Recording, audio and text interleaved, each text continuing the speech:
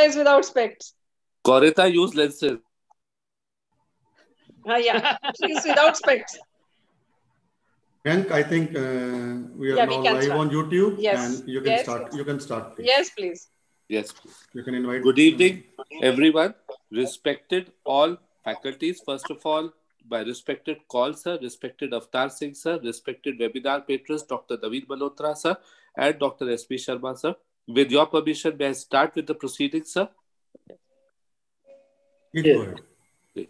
Success is to be measured not so much by the position that one has reached in life as by the obstacles which he has overcome.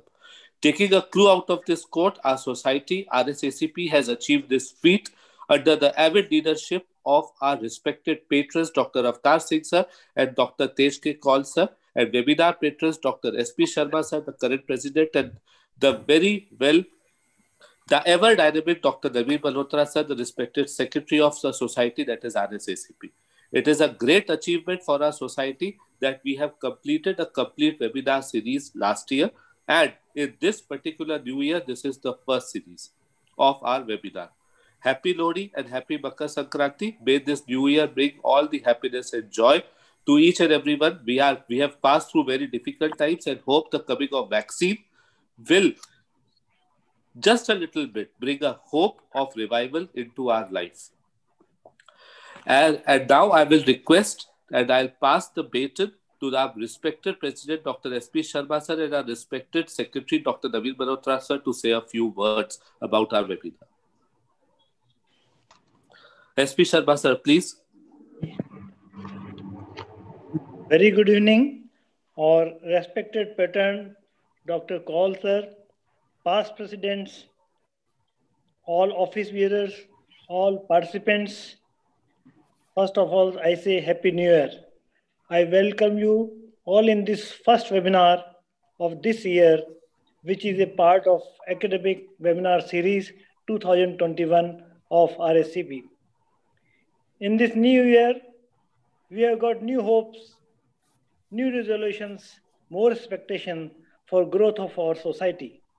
I believe that RSACP will achieve further heights and it will increase its presence internationally by efforts of we all.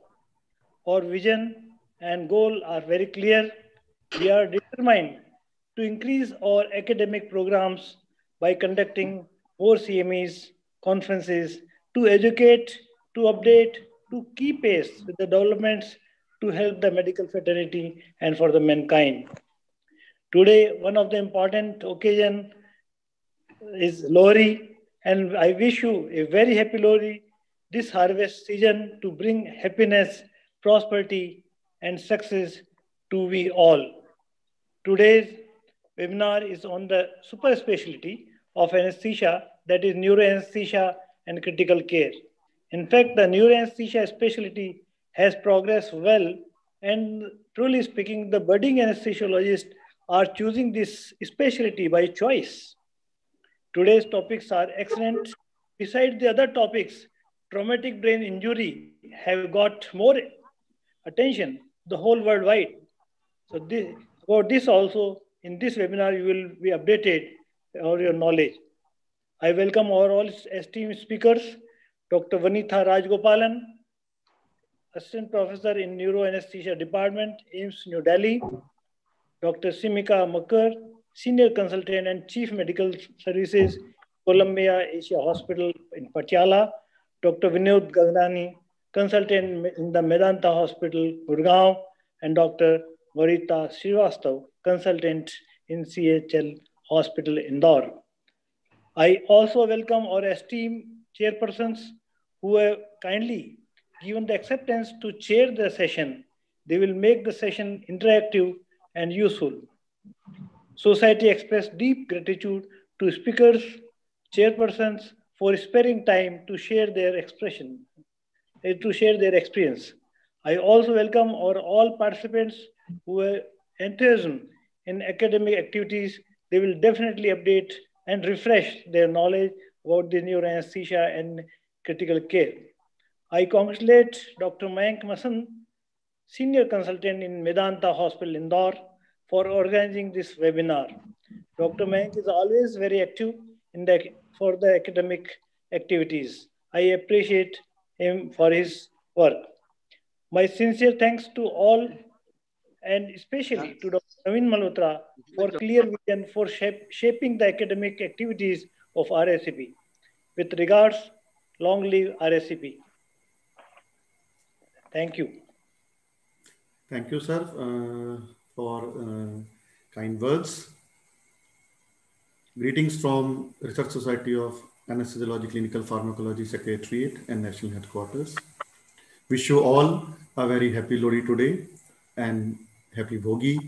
And also uh, in advance greetings for Makar Sankranti tomorrow and Pongal festivals over the next three to four days.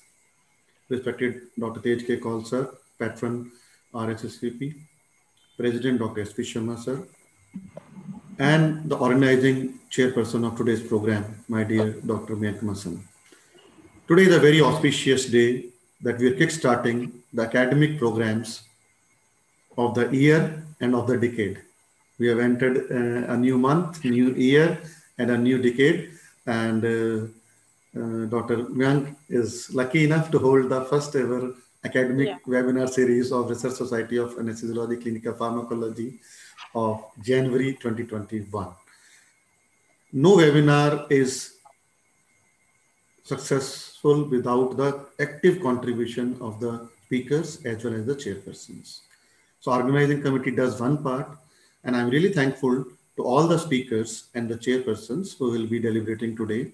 And I'm very sure it will be quite enlightening and enriching for all the delegates who are attending this uh, webinar on neuroanesthesia and critical care.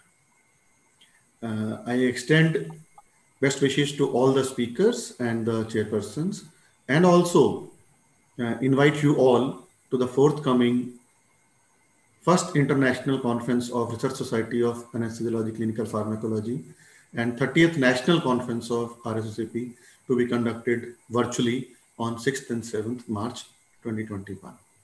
Thank you very much. Be safe and keep yourself healthy and your family healthy. Long live RSACP. Thank you very much. Thank you so much, President Sir, Dr. S.P. Sharma Sir, and Secretary Sir, Dr. Naveen Malhotra Sir. Uh, sir, with your permission, may I proceed? Please. Thank you so much, sir. Sir, the first topic of today's meet is about the neuromonitoring part. Neuroanesthesia and critical care is a field which is incomplete without monitoring.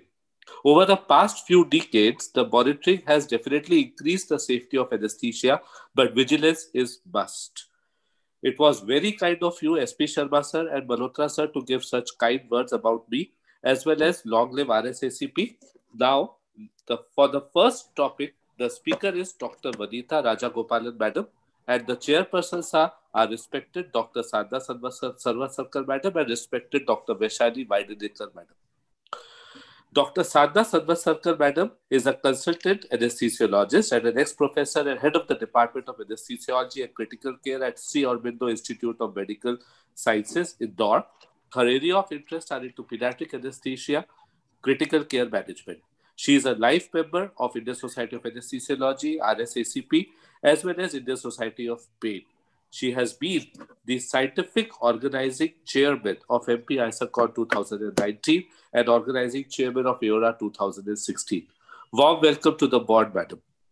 Thank you. And Thank the second so chairperson for this particular topic is Dr. Vaishali Vaidyanekar, madam. She is the head of the Department of Anesthesiology and Critical Care from All India Institute of Medical Sciences, Bhopal. Her specialty experiences of cardiac anesthesia, plastic, neuroanesthesia, pediatric, USG guided nerve blocks, dental anesthesia, liver analgesia. She has chaired several scientific sessions, both at the national as well as state level. She has got 35 original research projects published, accepted for publication in many reputed national as well as international journals. She has presented extreme number of case reports and review articles. We welcome you on board, Dr. Vaishali Madam. Please, uh, please welcome on board Dr. Vaishali and Dr. Sadhna. I would now request the chairpersons to please introduce our first speaker. Thank you. Good evening, everybody. Uh, let me take the privilege to introduce Dr. Vanita Rajagopalan. She is a qualified neuroanesthesiologist, presently working as All in, at All India Institute of Medical Sciences, New Delhi. Her area of interest are neuro critical care, neuromonitoring, pain management, pediatric neuroanesthesiology, and neurotrauma. She is a reviewer in various journals of anesthesiology as well as neuroanesthesia and she is the right person to speak on today's first topic that is clinical aspects of neuro monitoring. Over to Dr. Vanita, please.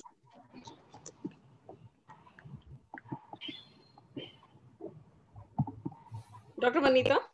Yes, ma'am.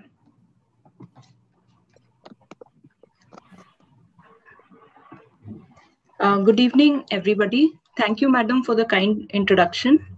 Uh, monitoring in most ICUs between the 1960s and 1980s was restricted to clinical examination, heart rate, respiratory rate, blood pressure, oxygen saturation, body temperature, and the central venous pressure monitoring. With the advent of the pulmonary artery catheter, monitoring of cardiac output and right-sided filling pressures became possible, providing new understanding and acting as a guide to therapy for the resuscitation of cardiogenic and septic shock. Neurological ICUs at that time focused almost exclusively on the care of postoperative neurosurgical patients, and neuromonitoring was basically restricted to serial neurological examination and in some units to intracranial pressure monitoring. These neurochecks often did not reveal changes in cerebral function until they were irreversible. So this gave rise to the idea to detect clinical deterioration as soon as possible enabling prompt efforts to reverse or correct any injurious process. This era was known as the age of the clinical neuromonitoring. From then, we have progressed to an age of multimodality monitoring and neurophysiological decision support, though this is still at its infancy. What we currently follow is the reactive treatment model. And what is required is a shift to the proactive treatment model. So simultaneous monitoring of brain oxygen tension, brain temperature, ICP, cerebral perfusion pressure, cerebral blood flow, and cerebral metabolism, in addition to TCD ultrasonography, continuous EEG monitoring, and cardiovascular parameters, offers the potential to impact neurologic outcome by enabling detection of early changes in the brain physiology, and thus the shifting from of the treatment from a reactive model to a proactive model.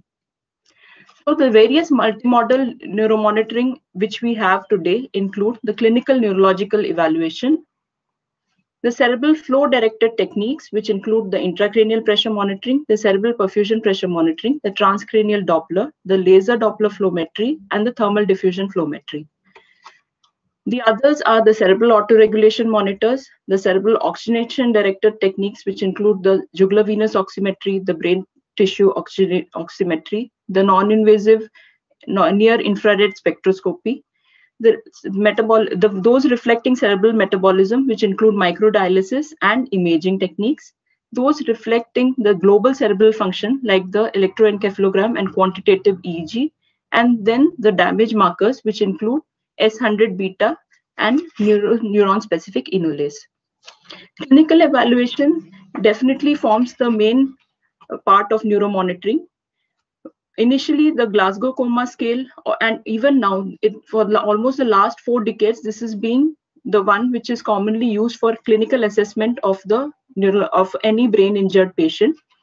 The four, that is the full outline of unresponsiveness score and various other newer uh, scoring systems have also evolved, but they have not developed wide clinical acceptance the, to make the pupillary examination more objective, we now have the infrared pupillometry.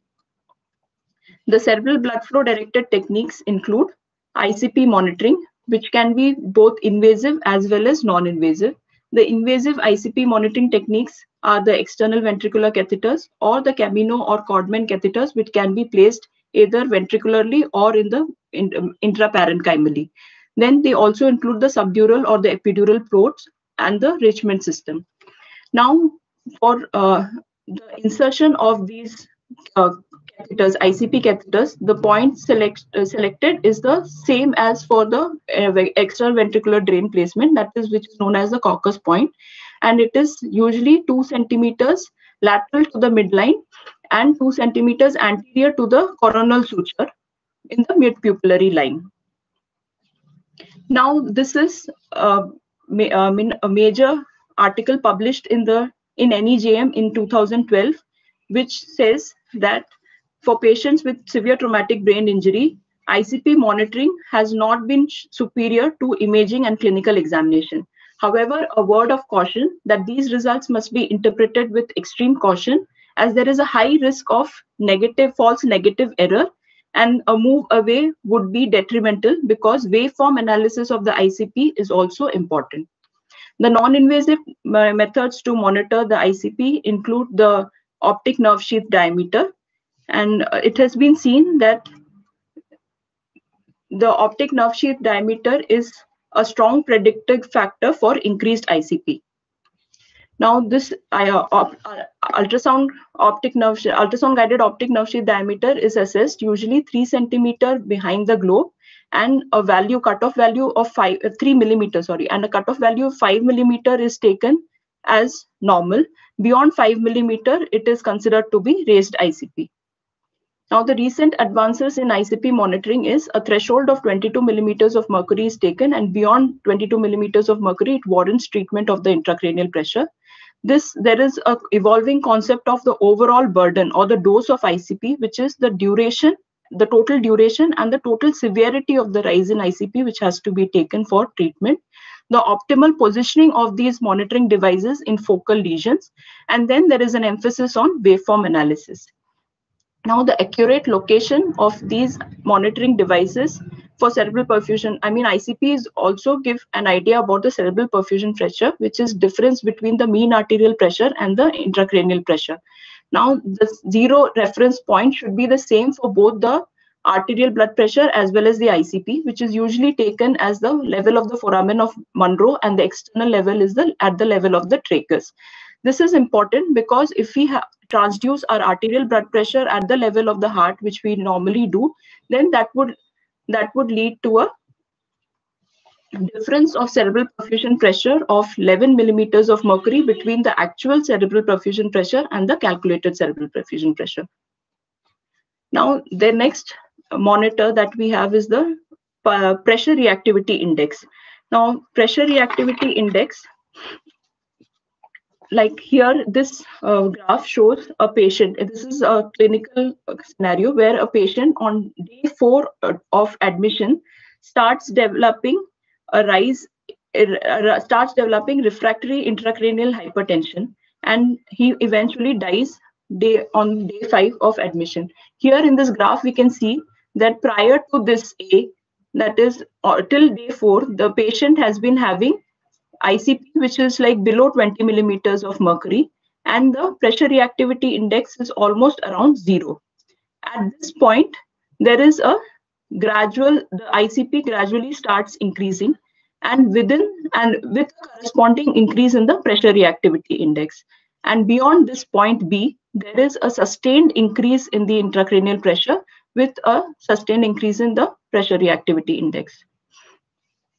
So what we see is that the pressure reactivity index has a cor correlation coefficient which ranges from minus 1 to plus 1 and the normal value that is if it is cl closer to minus 1 that is where the intracranial pressure and the uh, blood pressure cerebral perfusion pressure are inversely related then it is said to be a uh, good pressure reactivity coefficient or the patient will have a good clinical outcome. The closer it is to the positive one, then the it is like the correlation is almost same and so the patient will have a worse clinical outcome.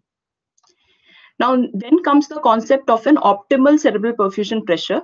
Now identifying the optimal cerebral perfusion pressure helps us to individualize the therapy towards every patient.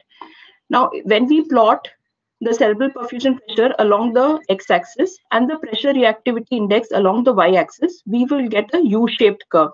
Now, the lowest point or the maximum negative point of this U-shaped curve will determine the optimal cerebral perfusion pressure for an individual patient, which will help in individualizing the therapy for the patient. Now, when we see the optimal cerebral perfusion pressure and outcome, it is seen that uh, the cerebral perfusion pressure should be maintained plus or minus within plus or minus 5 millimeters of mercury of optimal cerebral perfusion pressure to achieve a good neurological outcome. If it is beyond the plus 5, then that indicates that is associated with severe disability at 6 months. And if it is less than the minus 5 value, I'm sorry for this, then it is associated with higher mortality. Now coming to the other cerebral blood flow monitoring techniques, these include the transcranial Doppler and the laser Doppler flowmetry. These are based on the cerebral blood flow velocity and indirectly give us an idea about the cerebral blood flow and ICP and also about the perfusion pressure.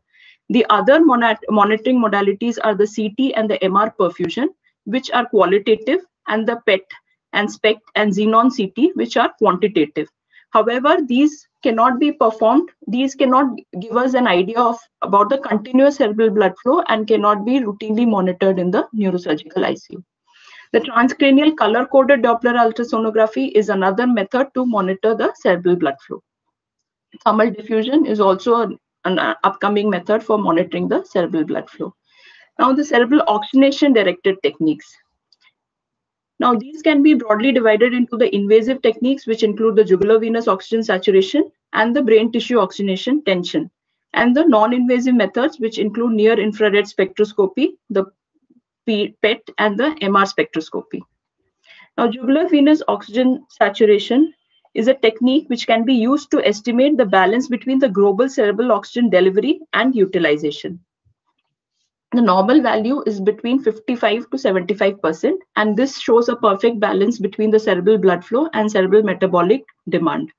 Now, if it is less than 50%, it includes it indicates that the cerebral blood flow is decreased compared to the metabolic demand of the tissue. And if it is more than 80%, it indicates that there is an increased cerebral blood flow compared to the metabolic uh, demand. However, I mean, other than cerebral hyperemia, even when there is a decrease in the metabolism, the cerebral blood flow can be high. And so this can also be an indication for brain death. So always a high cerebral SGVO2 values need not indicate a, uh, I mean, a good outcome. So the importance level th there is level three evidence in brain according to Brain Trauma Foundation for the importance of estimation of arteriovenous oxygen content difference and a multiple or sustained desaturation of more than 10 minutes is associated with poor outcome.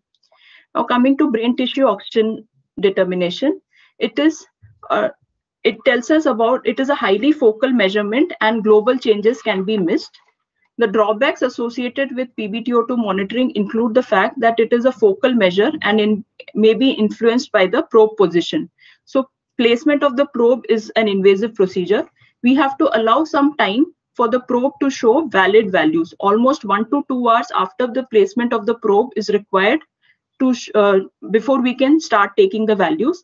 And then the position of the probe and whether the probe is working can be checked by increasing the percentage of oxygen which we deliver. And if there is a simultaneous increasing increase in the PbTO2 values, then it indicates that the uh, probe is working.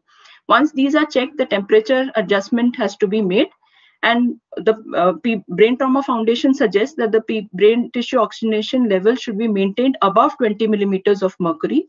And uh, as I've already told, the cerebral blood flow and the arterial partial pressure of oxygen can influence the PbTO2 values. The uh, PbTO2 values less than 10 millimeters of mercury is associated with very poor outcome in traumatic brain injury. So uh, this study showed that PbTO2 did not provide a survival or functional status improvement at discharge. However, this BOOST2 trial, which was published in November 2017, shows that uh, in ICP in addition to, and I mean PbTO2 in addition to ICP shows a trend towards improved outcome with less mortality and more favorable outcomes. Coming to the non-invasive methods of brain oxygenation monitoring, first we have the near infrared spectroscopy. This is a non-invasive technique based on the transmission and absorption of near infrared light that is between 700 to 1000 nanometers as it passes through the tissue. Now, the main advantage of this technique is it is non-invasive method of estimating regional changes in cerebral oxygenation. However, the clinical use is limited by its inability to differentiate between intracranial and extracranial changes in blood flow and oxygenation, which adversely affects the reliability of the readings.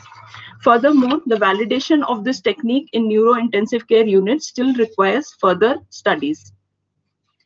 Now, this article shows that there is no data to support that NIRS has many potential advantages over other neuromonitoring techniques, but further investigation and technological advances may be required. So we have the non-invasive, it is a non-invasive estimation of continuous cerebral blood flow. Ultrasound tagged NIRS can be a development which can be used for continuous cerebral blood flow monitoring. NIRS-based handheld devices to screen intracranial hematomas are also being used in the pre-hospital settings. Now the monitors which reflect cerebral metabolism. So coming to this, microdialysis is the uh, most important monitor of cerebral metabolism. It works on the principle of osmosis that drives the passage of molecules across the membrane along their concentration gradient. So molecules with high concentration in the brain extracellular fluid pass into the perfusate with min, uh, pass into the perfusate and are removed at a constant rate and the concentration gradient is maintained. Now, what we see is this is, uh, I mean, a perfusate which is infused through the catheter, and this these are the molecules are present in the ECF of the brain. Now, based on the concentration gra gradient, the molecules move into the perfusate, and then this is withdrawn and analyzed. Now, this is the thing. Lots of uh, parameters can be uh, measured through this, like the lactate pyruvate ratio, the lactate glucose ratio, the uh, glucose, the pyruvate, etc. So now, whether this can be used as a routine application, and this is like uh, must be used. It's not for an isolated monitoring. It can be used in conjunction with other methods to provide true multimodality monitoring in critically ill patients. Now there is a concept of hyperglycolysis and neuroglycopenia after traumatic brain injury. This is an important concept because even with normal blood sugars being maintained after traumatic brain injury, there has been seen, I mean, uh, cerebral hypoglycemia or neuroglycopenia has been seen. And by increasing the uh, blood glucose levels, this has been seen to uh, normalize. Therefore, this concept is upcoming now in the management of traumatic brain injury. This also helps to differentiate ischemic from non-ischemic etiology. Like uh, uh, ischemia is not the only reason for the uh, lactate to go up. Even a mitochondrial failure that can occur because of decreased, I mean, because of seizure or any in excitotoxic injury, that can also cause uh, increase in lactate pyruvate ratio. So it is also useful in neuroprotective drug trials because uh, large molecules can be assessed and then the there is the sampling is rapidly available with several uh, microdialysis. Now portable CT scanners are another um, method to assess the metabolism, cerebral metabolism. Like we have bedside CT in our ICUs. It allows a rapid scan time, flexible settings, and immediate image viewing and helps in real-time imaging, immediate neuromonitoring, even in the smallest of medical centers. So this is how we have, like we perform the bedside CT in our ICUs. Then those monitors which reflect global cerebral function, like which is the electroencephalogram. It is a dynamic brain function monitoring, and it's a new concept in neurointensive care. Continuous electroencephalographic monitoring has gained uh, importance recently because of the development of non-convulsive seizures or non-convulsive status epilepticus. It is seen in almost 40% of patients with neurological injury where they do not have any manif external manifestations of seizures, but there is uh, seizure activity noted on the EEG and this occurs despite adequate serum levels of the anti-epileptic medications. Now, this is uh, a continuous, this um, picture shows a continuous EEG and somatosensory evoked potential monitoring in our ICU. A is a small amplification device and this is connected to a PC by means of an optical fiber. Now this is the straight stainless steel needle electrodes which are gathered in plates of colored strings and the needles are covered with a transparent plastic dressing. And this is a plug-in device to connect the patient to the monitor. So continuous EEG should be monitored for at least 48 hours to detect non-convulsive status epilepticus. Now the quantitative EEG is another method which is developing, uh, which is become upcoming. And invasive EEG is more specific as compared to the scalp electroencephalogram. Now, once the monitoring parameters are obtained, there is a common danger of either discounting or misinterpreting the obtained values. So, uh, it, it takes expertise and diligence to understand the role of an abnormal monitoring result. So this is a mobile system which can be moved to the bedside and attached to various monitoring devices. The built-in software may provide advanced analysis for real-time decision support. Disadvantage of these systems are the cost involved and usually only one patient can be monitored at a time and data are not acquired unless the device is manually connected to the patient. So this is a real-time multimodal monitoring of the physiological parameters in a patient. Now this is an array which can be customized to provide important information all at a glance. In this array, what we can see is the working list of the patient, the brain imaging, the lung imaging, the laboratory values, the EEG, and the cerebral microdialysis values, along with the vital parameters.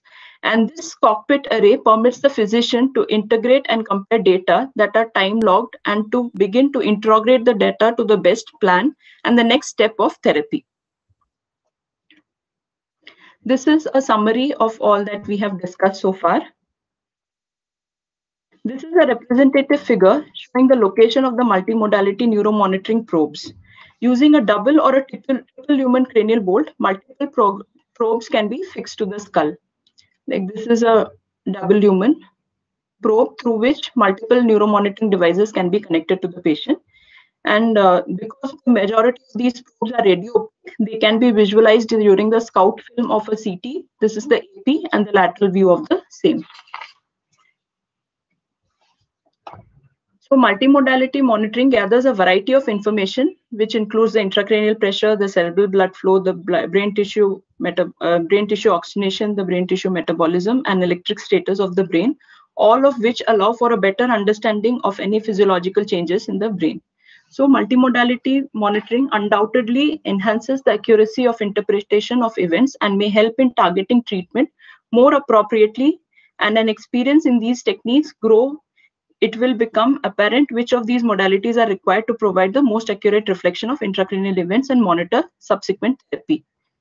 So the Neurocritical Care Society and the European Society of Intensive Care Medicine have given this consensus statement or regarding multimodality monitoring based on the available literature. Now, multimodality monitoring is not free from complications. These are the physical complications that can arise due to the devices. The other disadvantages of multimodality monitoring include the cost, the high labor intensive, it is a highly labor intensive method and may require a trained technician or a highly trained nursing staff to gather data. And uh, when the data has to be downloaded from the monitor onto a computer, then this will increase the cost by require by the requirement of a additional software. So now to the important next step is to understand how we can move beyond observational studies and conduct more prospective randomized control trials to say whether which of these multimodality monitorings or how in combination they can help in improving the outcome of the patient. Thank you and uh, wish wish everybody a very happy harvest festival. Thank you, Dr. Vanita. It was wonderful and too easy to uh, it was a difficult topic because the latest monitors which have come to monitor the neuroanesthesia part or a patient with neuro neural going undergoing neurosurgery really made very easy to understand congratulations for that And uh, questions, can we take right now or we'll be taking at the end of the... Madam, we can take it right now. The Okay. questions will be there in the chat box. Okay.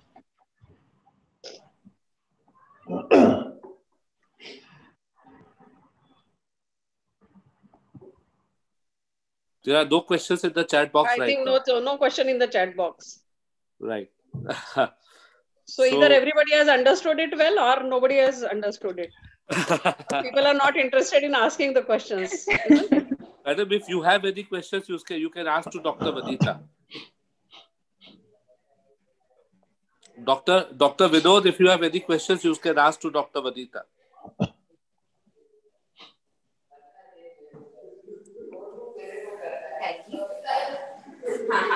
Okay.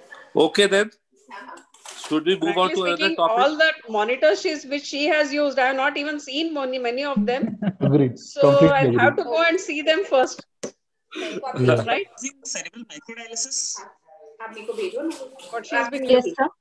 So I think there is no question. We can move ahead. Thank you, Dr. Vanita. There is a question. lecture. There is a question. Okay.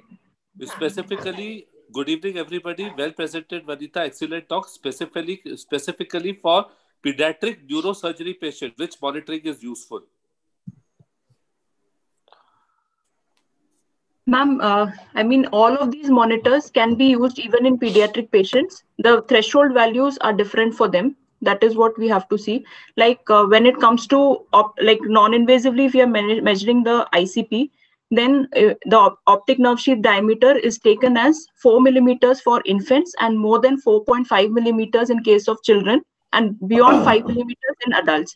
Whereas the other ICP values uh, that that remains the same like beyond 22 that is the brain trauma uh, foundation guidelines which says that we, if it is sustained increase in the icp for more than 5 minutes above 22 millimeters of mercury then we have to institute therapy and the other thing is that is the perfusion pressure the ideal thing to do now like in adults we say 60 to 70 as a broad term like 60 to 70 should be the cerebral perfusion pressure ideally. But the upcoming concept now is the to detect the optimal cerebral perfusion pressure for an individual patient and base our therapy on based on whatever is the optimum for that patient. This will reduce uh, the adverse uh, adverse side effects of uh, increasing perfusion pressure and will also improve the neurological outcome for the patient so this will be more useful in pediatric patients if we can optimize their cerebral i mean uh, find the optimal cerebral perfusion pressure and then institute therapy accordingly the other microdialysis parameters and all that remain the same. Thank you so much, Dr. Vanita, for an excellent talk. Thank you so much, both the chairpersons, Dr. respected Sadhna Sarvaskar Sarvatkar madam and respected Dr. Vaishali Vaidanekar madam. Uh, with your permission, madam, can we move on to Yeah, the please. next topic? Please, please, Yeah, please. please. please. So uh, we now now move on to the next topic. The next topic is myasthenia gravis and anesthetic considerations. And the speaker for this particular topic is Dr. Sivika Bakkar. Now, first of all, let me introduce you to the two chairpersons of this particular topic. The first chairperson for this particular topic is Dr. Lina Shibu. She has done a diploma in anesthesia from MGM Medical College Indore and DNB in anesthesiology from Maharashtra. She has got 16 years of anesthesia in various fields and 10 years of teaching experience. Presently, she is working in MIMER Medical College, Talegaon, Pune. Her special interest is in research and she has done a vast amount of clinical research and academic writing. Please welcome on board Dr. Leena Shibu from Talegaon. Dr. Leena, are you there? Yes, yes, I'm there. Can you Yeah. hear me, Mel? And uh, along with her, there is Dr. Subodh Chaturvedi. His academic experiences and his clinical knowledge is immense. He has done his diploma in anesthesia from MGM Medical College Indore. He is an experienced cardiac anesthesiologist with more than 14 years of experience in cardiac anesthesiology, as well as more than five years of experience in exclusive bariatric operations. He is involved in more than 100 cases of bariatric surgeries per month in the respected Mohak Bariatric Institute of Sri Aurobindo Institute of Medical Sciences. Along with this, he has been involved in the CPCR formation guidelines at the national level, along with Dr. Chakra Rao sir. Welcome on board, Dr. Subodh Chaturvedi. Now, please may I request both the chairpersons to introduce our respected speaker, Dr. Simika Bakkar, for the talk. Yes, I'll take it first. Uh, it. Thank you, Mayank, uh, for inviting us on this uh, uh board. And I'm very happy to introduce Dr. Simika, my good friend. And she is, can you hear me, Mayank? Yes, yeah, she is. But clear to everybody. Yes. Uh, she is MD, DNB anesthesiology. She has more than 15 years of experience and she is my batchmate. And she has worked as senior consultant in eminent institutes like AIIMS, uh, New Delhi, PGI, MER, Chandigarh. Presently, she is working as a chief of medical services and senior consultant anesthesia, intensive care and pain specialist at Columbia Asia Hospital, Patiala. She is also an NABH assessor and I know she will be a very strict NABH assessor. And she'll be presenting on myasthenia gravis anesthetic implication. Over to you, Samika. May I request Dr. Subodh to say a few words also? Uh, first of all, I, I feel actually lucky to have worked uh, worked with her. I have been her houseman and we use to idolise हर कि uh, इनके जैसा बनना है इनके जैसा anaesthetics बनना है इनके जैसा पढ़ना है नाउ आई डोंट नो वैसा बन पाए कि नहीं बन पाए but it is really I mean when Mayank sir told कि सिमिका मैम को इंट्रोड्यूस करना even that was a privilege so ma'am आप दिख नहीं रहे हो आप दिख जाओ तो फिर आगे शुरू करें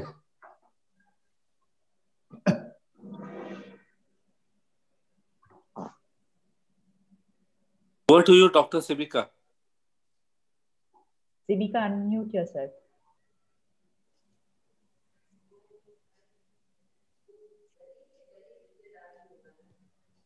Dr. Simika, are you there? She is there, but she has not unmuted her. Okay. मैं उसको कॉल करके बोल देता हूँ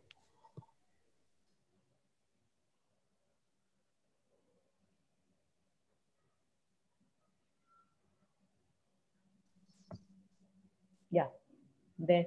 Samika? Uh, good evening, everybody. Am, am I audible? Yes. Yes, Samika, you're audible. Okay, thank you. Uh, first, I'd like to thank uh, uh Dr. Lina and Dr. Subodh uh, for such a kind introduction.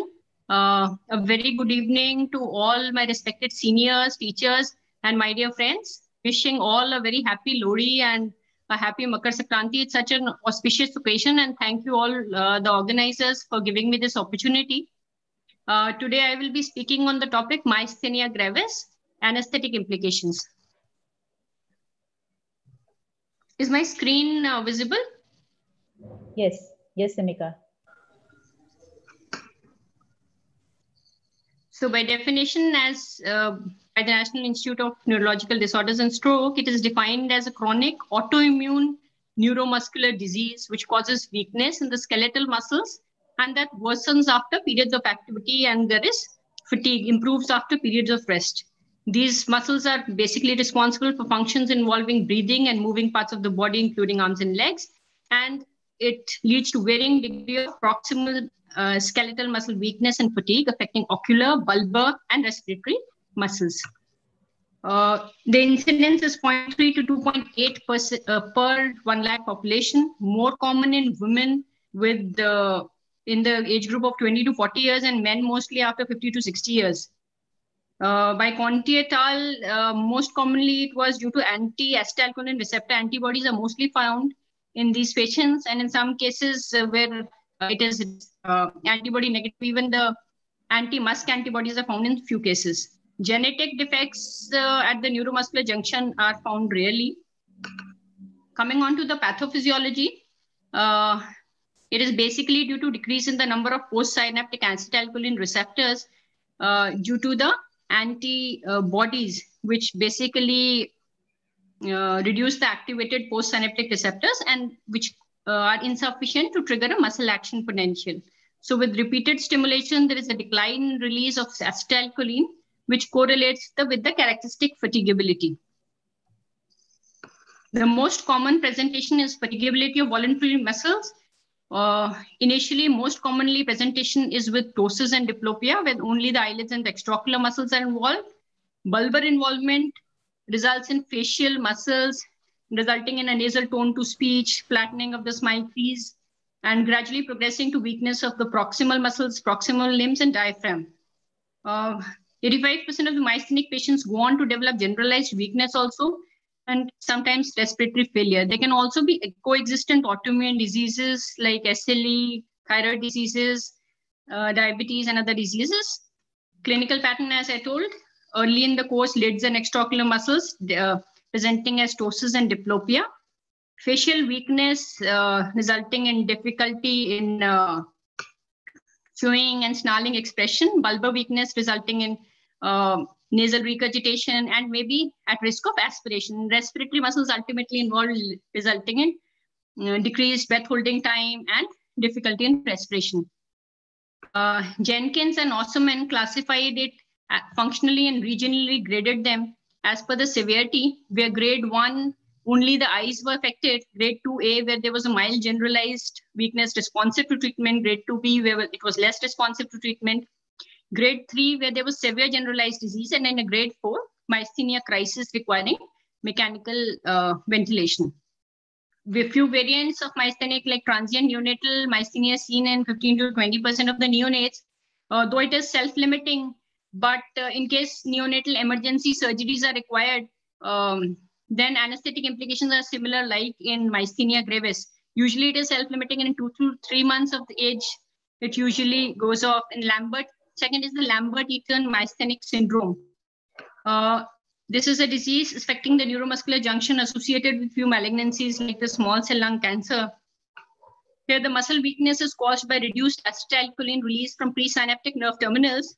And it is in this, the uh, differentiating factor with the myasthenia is that it is very sensitive to both non-depolarizing and depolarizing muscle relaxants. And autonomic dysfunction is common, which is not there in myasthenia. Then coming on to the severe forms, crisis forms, myasthenia crisis and cholinergic crisis.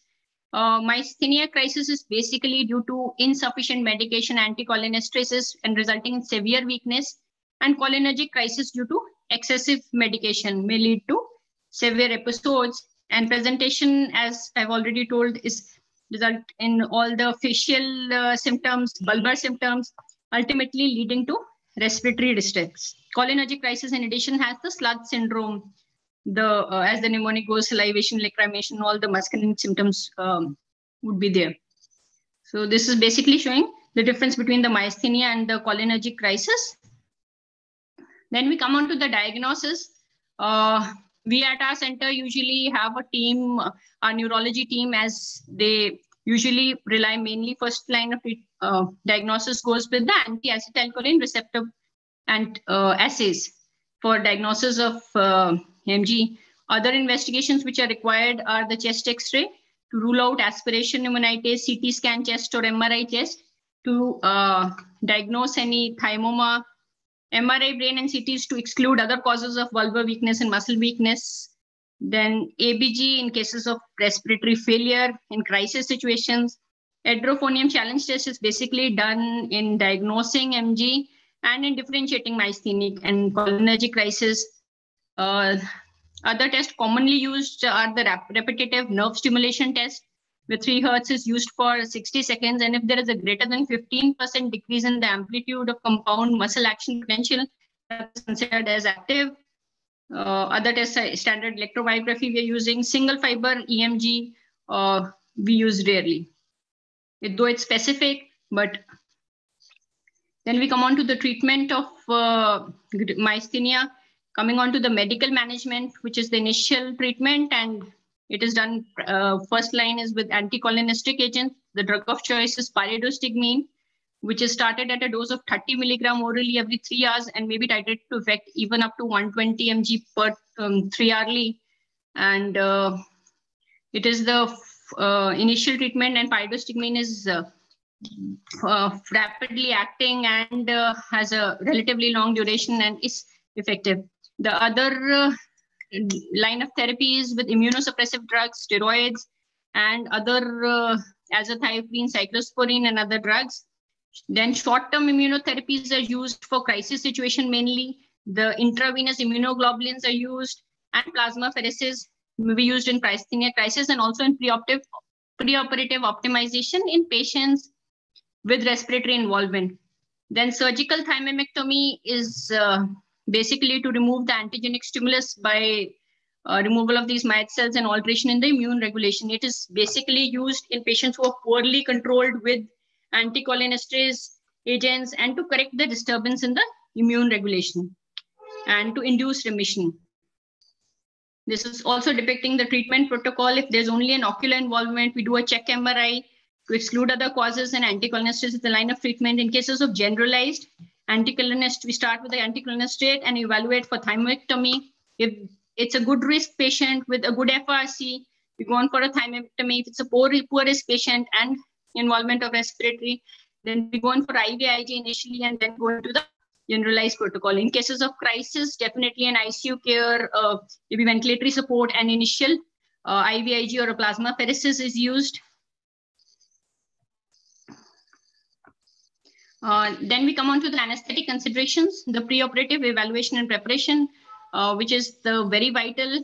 And uh, first with the history taking to understand the recent course of the disease of the patient, onset and duration, severity of disease, what muscle groups are involved, bulbar involvement is there or no, no, history of dysphagia, dysarthria, which may predispose to aspiration, respiratory muscle weakness, shortness of breath, history of dyspnea, history of presence of a thymoma, or also sometimes history of stridor, positional dyspnea, uh, facial engorgement. They may uh, point towards a thymoma with the symptoms of mediastinal compression syndrome past history of any myasthenic crisis, exacerbations, what the drug regimen the patient is on, anticholinesterase inhibitors, steroids, immunosuppressive agents.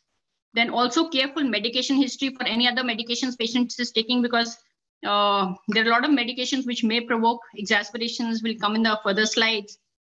Uh, we also need to screen for other coexisting diseases which may be associated, uh, the thyroid abnormalities, diabetes, SLERA, and they should also be optimally controlled. These are the drugs to be avoided in myasthenia patients, the macrolide antibiotics, IV uh, lidocaine in high doses, streptomycin, fluoroquinolones, long-acting muscle relaxants, beta blockers, magnesium, procainamide. Then coming on to the physical examination is in addition to the routine physical examination, uh, we need to basically assess the voluntary and respiratory muscle strength should be assessed, vital capacity, the timed forward arm abduction test and respiratory evaluation to rule out the inability to cough, evidence of pneumonia or retained secretions. These are very important factors. Uh, predictive preoperative risk factors for prolonged postoperative ventilation. These are very important factors which need to be assessed preoperatively. A lot of studies have gone into these predictive preoperative risk factors. Initially, there were only four risk factors which were studied by Leventhal et al. in 1980. But now Vihal Liu and Van Tebe et al., they have added quite a few additional preoperative risk factors which make us decide as to what uh, post-operative preparation and planning we need to do along with the neurologist and the team. Disease duration of greater than six years. If there is a concomitant pulmonary disease like a pre-existing COPD, major surgery where the intraoperative blood loss is expected to be greater than 1000 ml, grade 3 and 4 myasthenia, uh, in the pulmonary function test, a peak inspiratory pressure of less than 25 centimeter of water, vital capacity of less than 40 ml per kg or less than 2 to 2.9 liters, pyridostigmine doses of greater than 750 mg per day, the acetylcholine receptor antibody levels greater than 100 nanomoles per ml, uh, and also in the RNST, uh, greater than 18 to 20% decremental response, symptoms of mediastinal compression syndrome, bulbar symptom, and a history of myasthenia crisis. So all these things need to be uh, actively screened preoperatively, and a plan has to be made preoperatively for all uh, this. Then we come on to the preoperative investigations.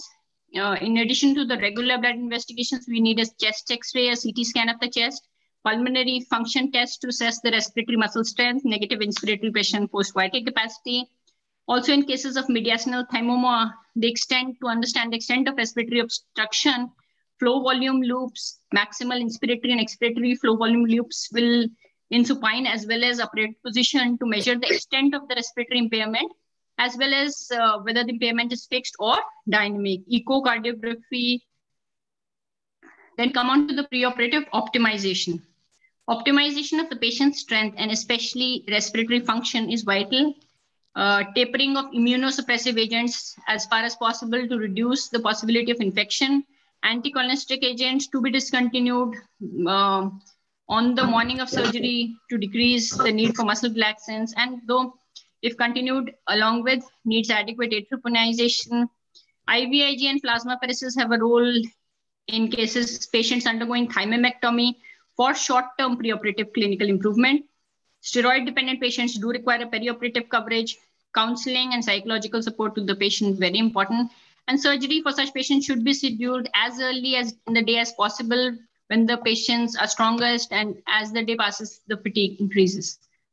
So uh, on individual drugs, response to anesthetic drugs in these patients, uh, they're typically sensitive to non-depolarizing neuromuscular blockers priming or defasciculation is usually not appropriate because it may result in loss of airway protection or in respiratory distress. Long-acting muscle relaxants, oh, pancuronium, tubocurarine, etc. should be avoided. Very small doses and residual drug effect may result in respiratory distress.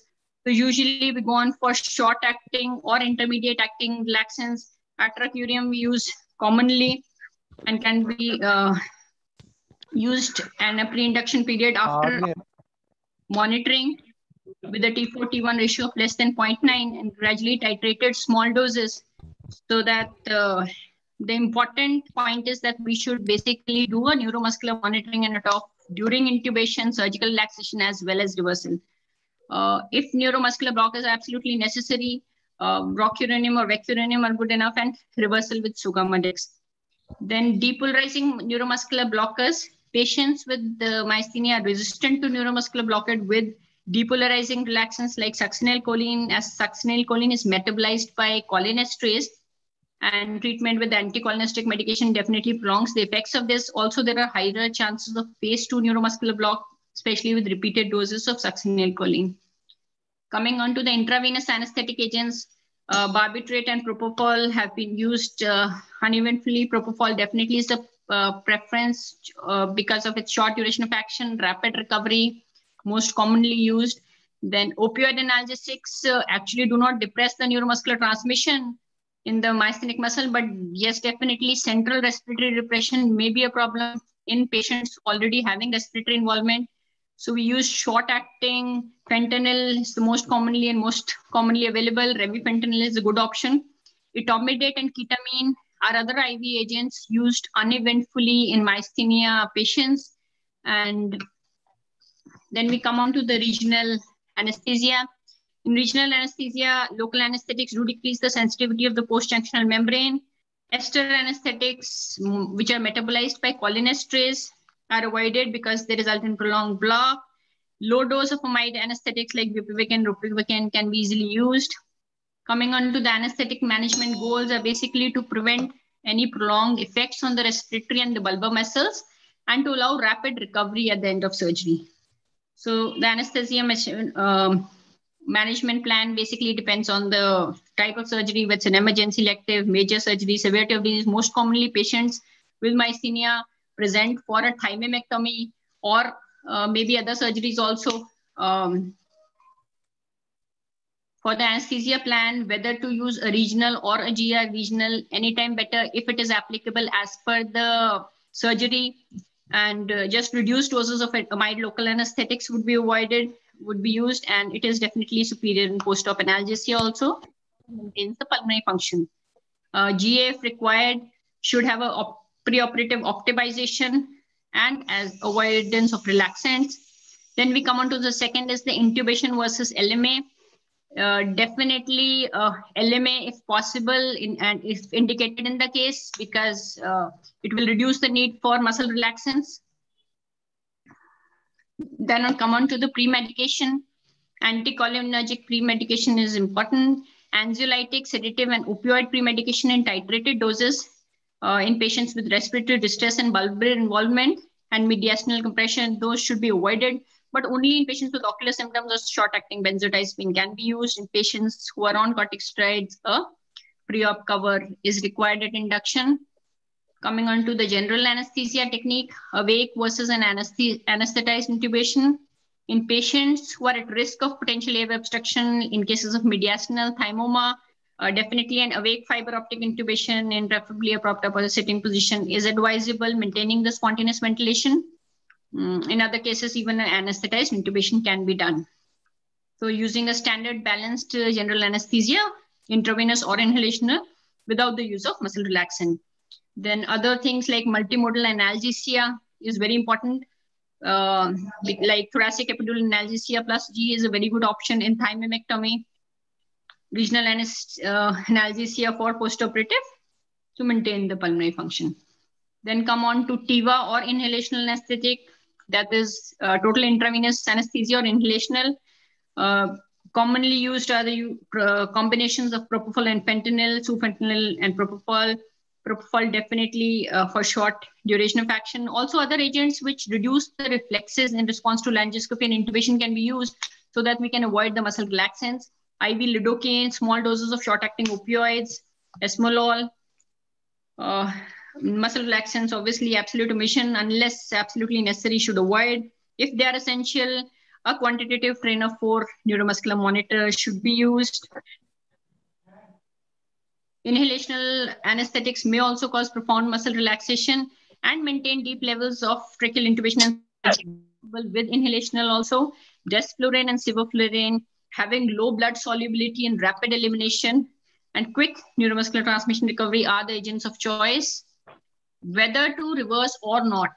Uh, Sugammadex rather than neostigmine. Sugammadex basically is a medication which can be used to reverse neuromuscular blockade of the steroidal uh, neuromuscular blocking, non-depolarizing blocking agents, vecuronium and rocuronium by encapsulation. So without the need of any anticholinergic medication. We do not have availability of Sugammadex very often, so we more normally use neostigmine. Uh, neostigmine should be used in a titrated dose so that and with the along with TOF monitoring and all the reversal extubation everything should be along with quantitative TOF monitoring so that the t4 t1 ratio monitoring of greater than 0.9 coming on to the extubation uh, anesthetic strategy uh, is to maximize the possibility of extubation by use of short acting anesthetics and multimodal analgesia the criteria of extubation are similar to all other cases. Just what is important is neuromuscular monitoring.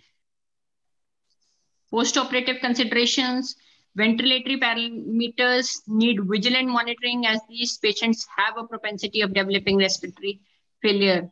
Um, patients undergoing thymectomy many times require long duration mechanical ventilation also. There may be weakness after surgery, maybe due to crisis, myasthenia or cholinergic effect, residual effects of anesthetic drugs, even non-anesthetic drugs which uh, exacerbate the situation can also be resulting in the, situation. Preoperative consultation with patient's neurologist should include planning for post-operative care, possibility of intensive care, and a post-operative. So we have a team of neurologists, pulmonologists, and intensivist, and along that we usually plan it pre-hand that all those patients who would require a post-op ICU stay and uh, monitoring uh, post-operatively also. So perioperative myasthenia crisis, the reasons for perioperative myasthenia crisis are basically can be stress of surgery, infection, residual anesthetics, withholding or tapering of these medications and number of other medications also. So impend the features of impending crisis are like increase in respiratory rate with shallow tidal volume breaths. These are basically signs of impending respiratory failure, which can be monitored. Uh, diagnosis uh, troponin test can be differentiate between uh, myasthenia and uh, cholinergic crisis. Formal neurophysiological studies may also be necessary. Treatment of myasthenia crisis should be coordinated with a neurologist. If weakness is there at the end of surgery, delay of extubation should be there, post-operative ICU care, and an urgent rapid therapy with plasma exchange and an IVIG preferably should be used. Uh, preoperative cholinergic crisis is basically because of patients who receive anticholinergic and are at risk of uh, when we are using the reversal agents and are at risk of cholinergic uh, symptoms, paradoxical weaknesses there along with symptoms of SLUDGE may occur after administration of reversal agent. Avoiding neuromuscular blocking agents avoids the need for reversal and therefore the risk of cholinergic crisis. Treatment is with atropine and glycopyrrolate. Anticholinergic should be withheld. And a repeated dosing of anticholinergic may also be required. Then a brief about pregnancy and myasthenia gravis. Obstetric myasthenic patients should also be assessed preoperatively in a similar manner to assess if there is a bulbar involvement or a respiratory muscle weakness. Uh, also to assess the predicted ability to tolerate a mid-thoracic level of regional anesthetic block, which is usually required in these patients. For labor analgesia, neuraxial is the analgesia of choice uh, as it eliminates the need of systemic opioid administration and minimizing the respiratory depression. Instrumental delivery is common in these patients as because in the second stage of labor, use with the use of striated muscle, which may weaken and increasing the need for instrumental delivery. So in that also neuraxial analgesia is preferable. Then coming on to the cesarean section, uh, spinal and epidural both, uh, but a mid-thoracic level of anesthesia is required, which often affects the accessory muscles of respiration. So for patients with significant bulbar or respiratory compromise, general anesthesia should be performed for cesarean section. Now we come on to the take home message.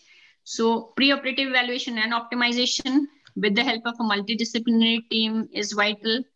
Regional anesthesia versus general anesthesia. Regional anesthesia, definitely if the surgery indicates, but general anesthesia in a balanced technique without the use of muscle relaxants uh, can be done. GA, TIVA versus inhalational, uh, both uh, are good. Uh, important is to remember all drug interactions and all drugs to avoid. Neuromuscular monitoring, quantitative TOF, preoperative, intraoperative, as well as postoperative is vital multimodal postoperative analgesia regional would be very vital. Postoperative monitoring is important. Patients may need ventilation, so vigilance is very important. Thanks. Over Thank to you. the chairpersons, please. Thank you, Simika. I think it was very lucid as well as you have touched every aspect of myasthenia gravis uh, from labor to everything.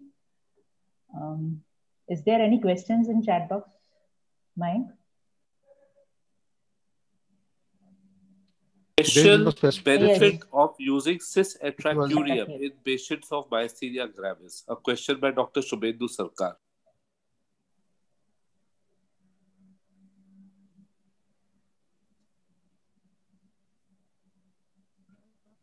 Uh, the Simita? question is any special benefit from cis-atracurium rather than other anesthetic agent to Dr. Semika, Dr. Leena, and Dr. Subodh? Hello? Is it audible? Yes, yes. Uh, Simika, Yeah. can you hear? It is audible. Dr. Semika, please unmute yourself.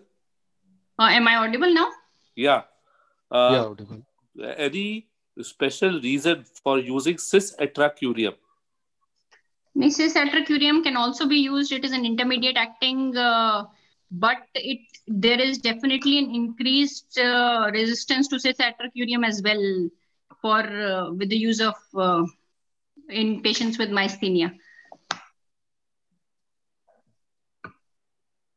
Is management management of a huge thymoma compressing the airway as well as the great vessels. Uh, in a big thymoma, definitely airway is also a very big concern, and preoperative optimization is very important uh, because we might need. There are highest chances of postoperative uh, ventilation, so pre-op preparation, even uh, maybe uh, short doses of IVIG also initially, and uh, the management of anesthesia is important. We would prefer an awake. Uh, fiber optic intubation planned for this patient with the local anesthetics, anesthetizing the airway, and a proper planning would be essential. And post-operatively, high chances of uh, mechanical ventilation, so planned ICU care, post-operative ventilation planned, and maybe requirement for uh, mm, maybe plasma pheresis or these things post-operatively, avoiding of any muscle relaxants intraoperatively, continuous uh, neuromuscular uh, monitoring throughout the procedure. All these things are important. Right. The next question is uh, by Dr. Varsha Patil.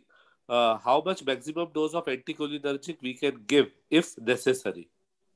Uh, how much maximum dose of anticholinesterase? Anticholinergic we can give if necessary.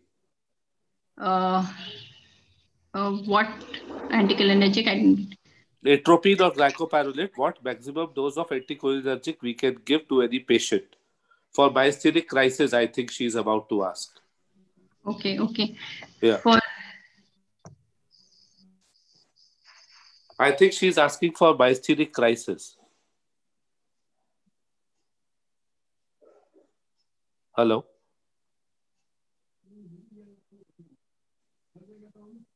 You can see the question in the chat box.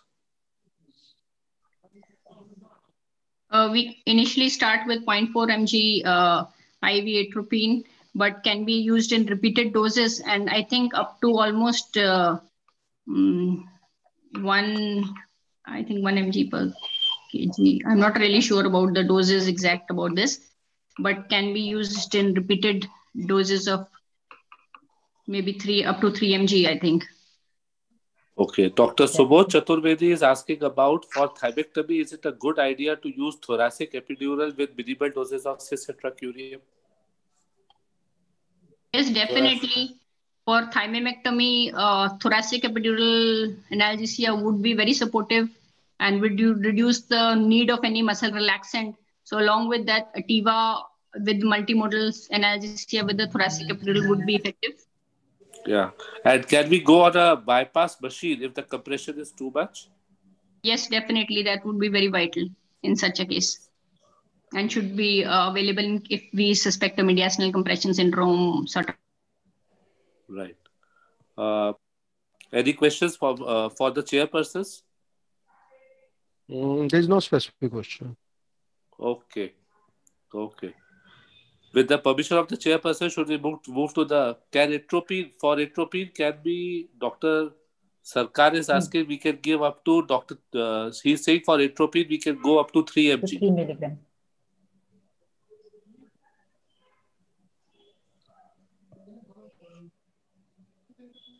I think he's saying With the- that we can give up to 3 milligram of atropine. Yes. Yeah. With the permission of the chairpersons, uh, can we go on to the next topic? Yeah, we can go to the next topic. Yes, I think. The presentation was very Any nice. other questions, Dr. Leela, in the chat box? Sure, sir. uh, about drug interactions. Drug interactions with what? Dr. Renuka, uh, they have not mentioned, just asked drug interactions. Dr. Renuka has asked about the drug interactions. Okay. Dr. Simika, are you audible? Yes. yes. Uh, am I audible?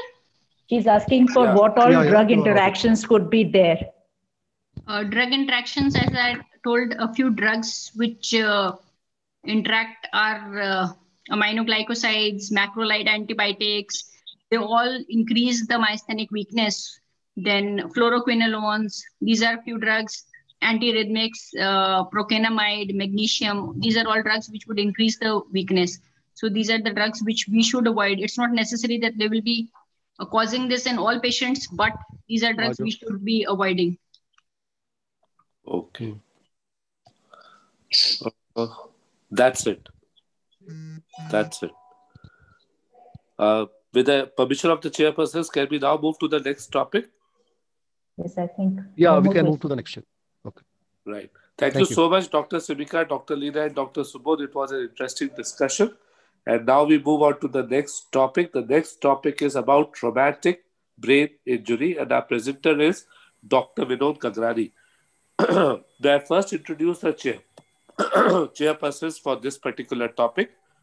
the first chairperson for this particular topic is respected Dr. Savita Saini Madam. She is a senior professor and head of the Department of Anesthesia and Critical Care from PGIMS, Rohtak, Haryana. She has got numerous publications. She has been faculty in various national, zonal, and state conferences. And she is also an examiner in various universities and National Board of Examination as well. Her specific area of interest are in obstetric and pediatric anesthesia as well as airway management. Please welcome on board Dr. Savita Saini, Madam, please. Madam, good evening. Good evening. Now, Am I audible? second- Yes, Yes, madam. madam. Welcome, welcome. Welcome, madam. The second chairperson for this particular topic is our very own respected Dr. Vikas Gupta, sir. He has done his MBBS from Raipur as well as his anesthesia degree from Gwalior. He has got huge amount of anesthesia, uh, a huge amount of experience in cardiac anesthesia and minimally invasive awake cardiac surgeries. He has been a senior resident in the hospital GTB and UC, UCMS Hospital, Delhi, as well as an associate consultant in cardiac anesthesia at CHL Hospital, Indore, for five years. At present, he is on a designation of consultant cardiac anesthesiology and OT superintendent at Apollo Hospital, Indore. He has taken the Indore city branch of ISA to extremely high levels under his leadership of honorary secretary he is currently the honorary secretary of ISA Indore City Branch. Our Indore City Branch has achieved new heights. He has also been awarded the respected Dr. S.K. Mukherjee National Health Award. Again, the topics of interest are minimally invasive cardiac surgery. Please welcome on board Dr. Vikas Gupta. Good evening, Dr. Vikas Gupta. Good evening, everyone. Good evening, Mayank. Good evening. Uh, may I now respect the may I now request the respected chairpersons to please introduce the speaker to us. Shall I take? Yeah, yeah, sure, madam. Please. Okay. Uh, good evening. A very good evening to Dr. Sadhana, Dr. Mayank, and all the organizing team, and to everyone whosoever is participating in this webinar, including all the speakers and co-chairpersons. Uh, Dr. Uh, for the present talk, Dr. Vinod Gagrani is the speaker who is consultant at Medanta Medic- Medicity Gurgaon, who has done his studies at Jabalpur and uh, his he did his diploma anesthesia at MGM Indore and then DNB at New Delhi. He practiced in uh, New Delhi for quite some time. He has been in Apollo Hospital as well and presently working at as consultant Medanta Medicity Gurgaon. So he would be presenting talk on traumatic brain injury. We all know traumatic brain injury is an important cause of morbidity and mortality, and it really requires a critical care management in, mm, in the perioperative period. And it has substantial effect or impact on the society because of the financial implications as well. So I now invite Dr. Vinod Gagrani to present the talk on traumatic brain injury. Dr. Vinod, please. Uh, good evening, everyone. I hope I'm audible. Am I audible, Mike? Yes, you are. Yes, yes, yes. So, good evening, everyone. Thanks a lot for inviting me to this platform. So, today I'll be presenting a talk on traumatic brain injury. I'll be mainly focusing on the practical aspects of traumatic brain injury. So, this is the place where we work in. This is Medanta, the Medicity, Gurgaon. So, first of all, I move on to the definition of traumatic brain injury. So, traumatic brain injury is basically an external mechanical force applied to the cranium and the intracranial contents. And this leads to a temporary or permanent impairment of functional or functional disability or psychosocial maladjustment. It can also lead to concussion, coma, death, after trauma, it produces effects that may continue for a long time. So it really requires a multimodal management. Initially, it will require emergency management. Later on, it will require more of a rehabilitative management. So many teams are involved, like physiotherapists, the emergency people, neurologists, neurosurgeons. It's basically a teamwork. So traumatic brain injuries are at the forefront, causing significant number of deaths, hospitalization, disability, and socioeconomic losses. Incidence is increasing in lower income countries. And World Health Organization prediction is that by 2020, traumatic brain injury and road traffic accident will be the third greatest cause of death and injury worldwide. And by 2030, road traffic accident will be the fifth leading cause of death in India. So the magnitude of head injury in India, unfortunately, the data is very limited. We don't have really have very good registries. There is lack of good quality population-based information. There is absence of community-based epidemiological studies, and trauma registries are absent in India. So the awareness is increasing, but still it has to translate into real data generation. So this is just the data from Ministry of Home Affairs, states, police, and other stakeholders who have generated this data. Overall, what I want to present is that the problem is quite huge. This is the amount of traffic accidents. It is 42.9%. And it's a huge uh, it's a huge problem which is uh, which causes a lot of deaths.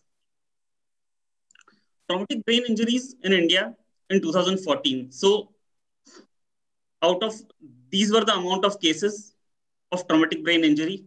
These many were hospitalized and it led to 50,000 deaths. Now, first and foremost thing that I would like to say about traumatic brain injury is that it should never be considered in isolation. Traumatic brain injury patient is never really an isolated case of traumatic brain injury. It's a case of trauma. So usual presentation of traumatic brain injury is in the form of road traffic accidents or the patients may present as fall from height. Sometimes aged patients may just present fall, not from height, means just they tripped over something and they just fell down. So that may also lead to traumatic brain injury. And last short injuries. These are the four basic, four major heads in which traumatic brain injuries can be classified. There can be others, but these are the four major things. So the management of head injury. Head injury, generally, this is the way we uh, it was managed. This is the old way and this is the new way. The old way was you rush to a nearest hospital. The resuscitation, usually it was inadequate. Then patient used to be wheeled to the OT, but again, because there were no proper procedures laid down, so there were surgical delays, omissions, there were no proper monitorings, and there was a delay in rehabilitation procedure, uh, rehabilitation practices, and so ultimate outcome was not very good. The new way is there is a dedicated trauma center, a full resuscitation unit, surgeries are carried out 24 hours a, uh, a day, and CT scan facilities have become more available. There are better monitoring facilities there is an integrated rehabilitation. And so the outcome is good. And even otherwise, studies have shown that uh, centers who have dedicated trauma care units produce better results in case of traumatic brain injuries. So the management of head injury would can be classified into four parts.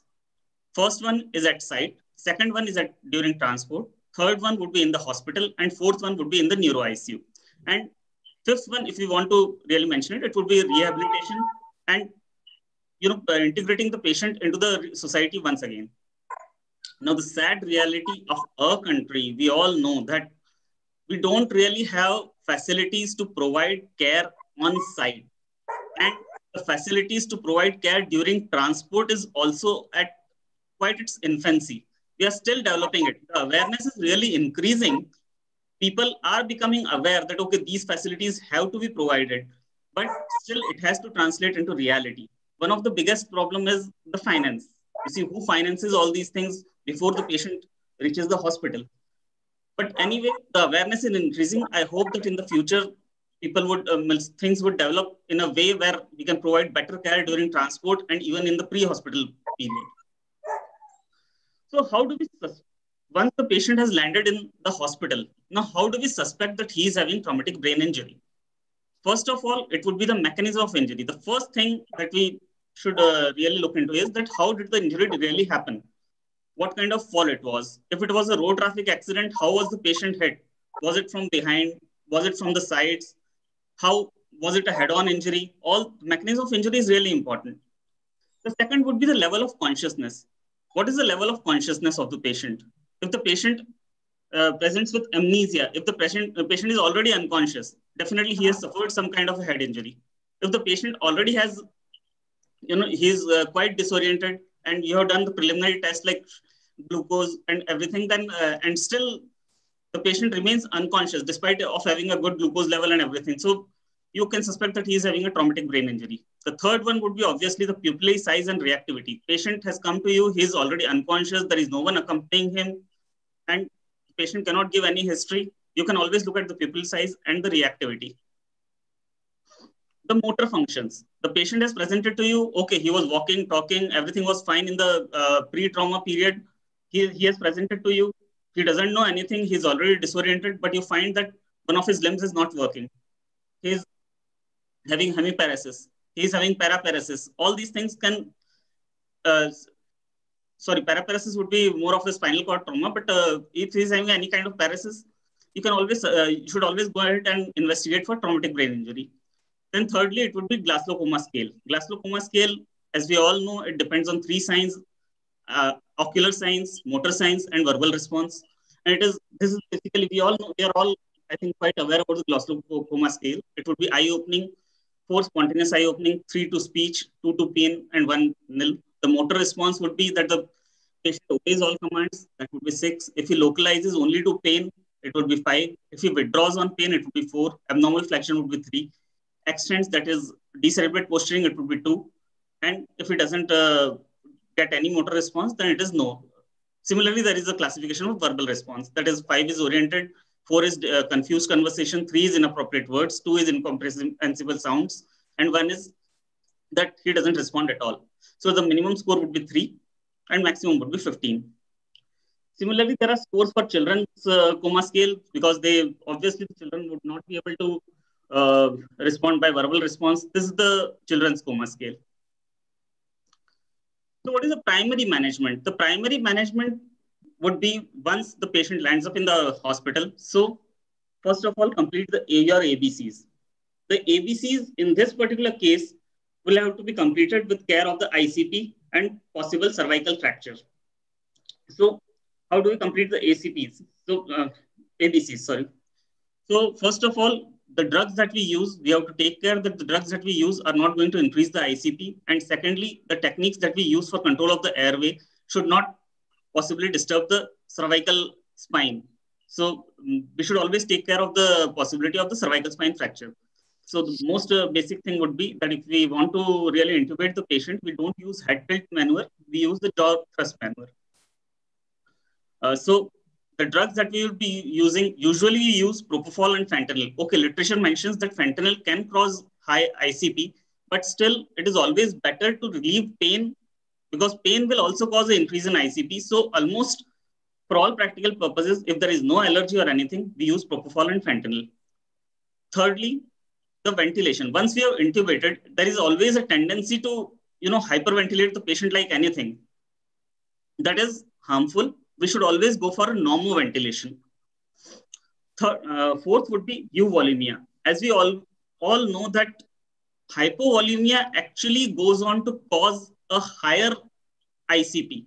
So we should always, and the patient of trauma, as I always, uh, as I already mentioned, that uh, a patient of traumatic brain injury is not only traumatic brain injury, it's a case of trauma. So Euvolemia is important. The patient always has other injuries by which he may have developed hypovolemia already. Fourth would be arterial hypotension. Systolic blood pressure of below 90 should be avoided. So we can volume resuscitate the patient and we can use ionotropes and we should avoid a BP of below 90. Cerebral perfusion pressure of should be of 60 to 70 and not above 70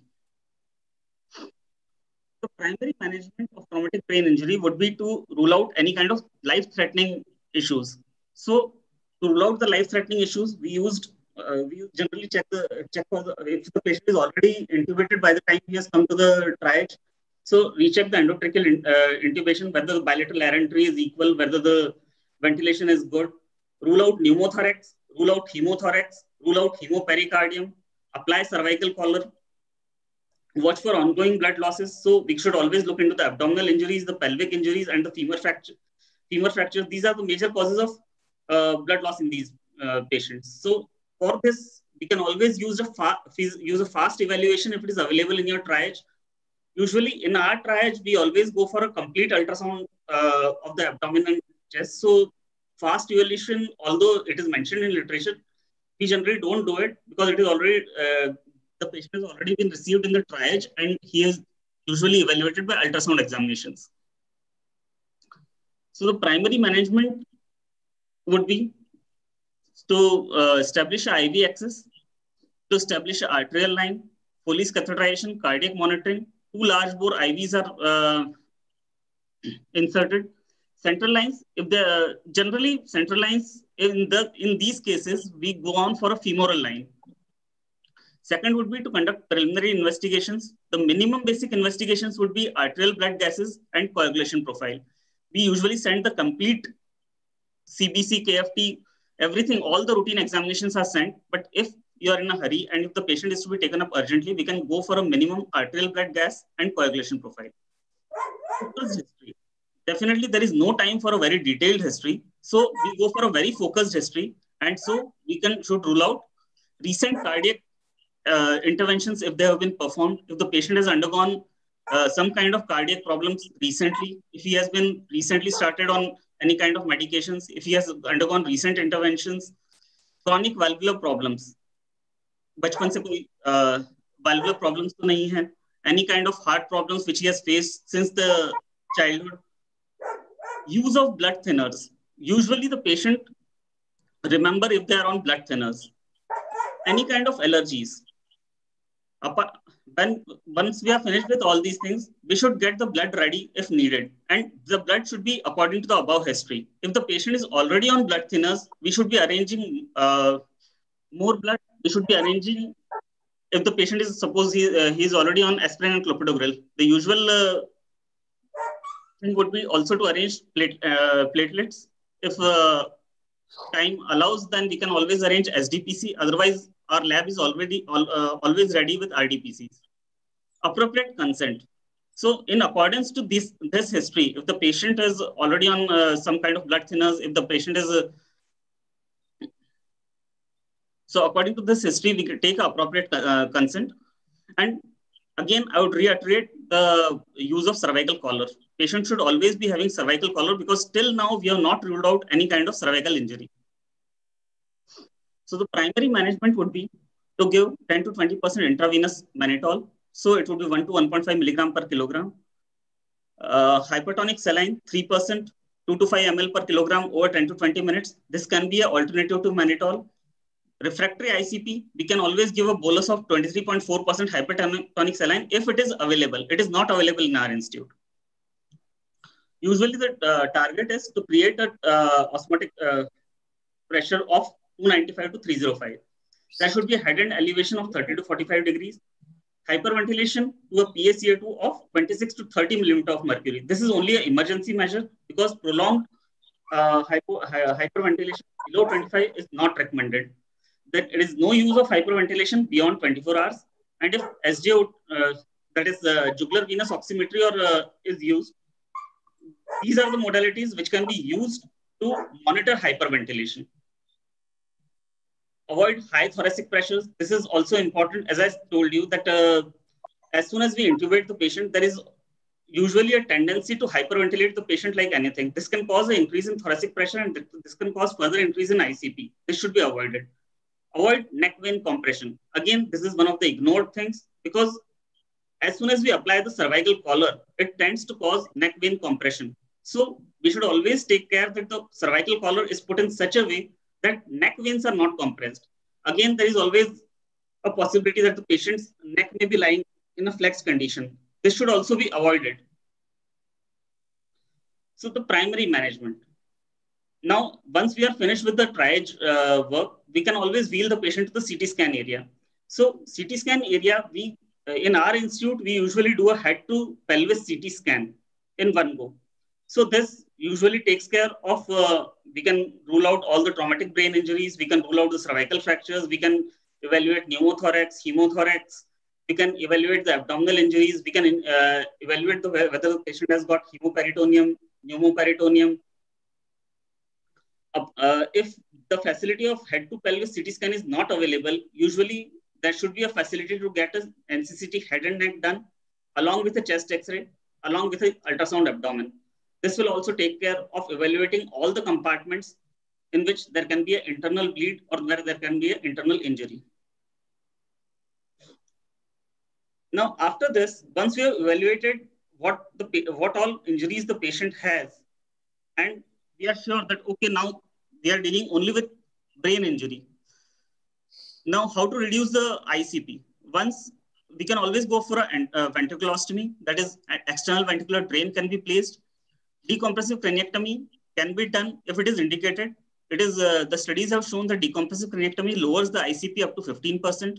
Opening of the dura in addition to the uh, bony skull results in an average decrease in ICP of 70%. Now we come to the classifications of traumatic brain injury. The primary uh, injuries would be cranial and intracranial. Cranial uh, injuries would can be mostly fractures. The intracranial injuries would be hematomas, contusions, concussions, diffuse axonal injuries, and there can be foreign bodies like bullets or shrapnels. The secondary brain uh, cl uh, class classification of secondary brain injuries would be due to excitatory amino acids, excitatory opioids, high ICP, cerebral edema, hydrocephalus. Hydrocephalus and uh, combined with uh, cerebral edema and high ICP can result in brain herniation and chronic traumatic encephalopathy. Out of all these things, these are the three highlighted in red of which we can do something. So after we have completed with the emergency, we can move out to the non-emergent man management of uh, uh, traumatic brain injury. Out of this, uh, these are the major elements of brain trauma found, uh, major elements of the recommendation of brain trauma foundation. First is about tracheostomy. The brain trauma foundation recommends that early tracheostomy is recommended.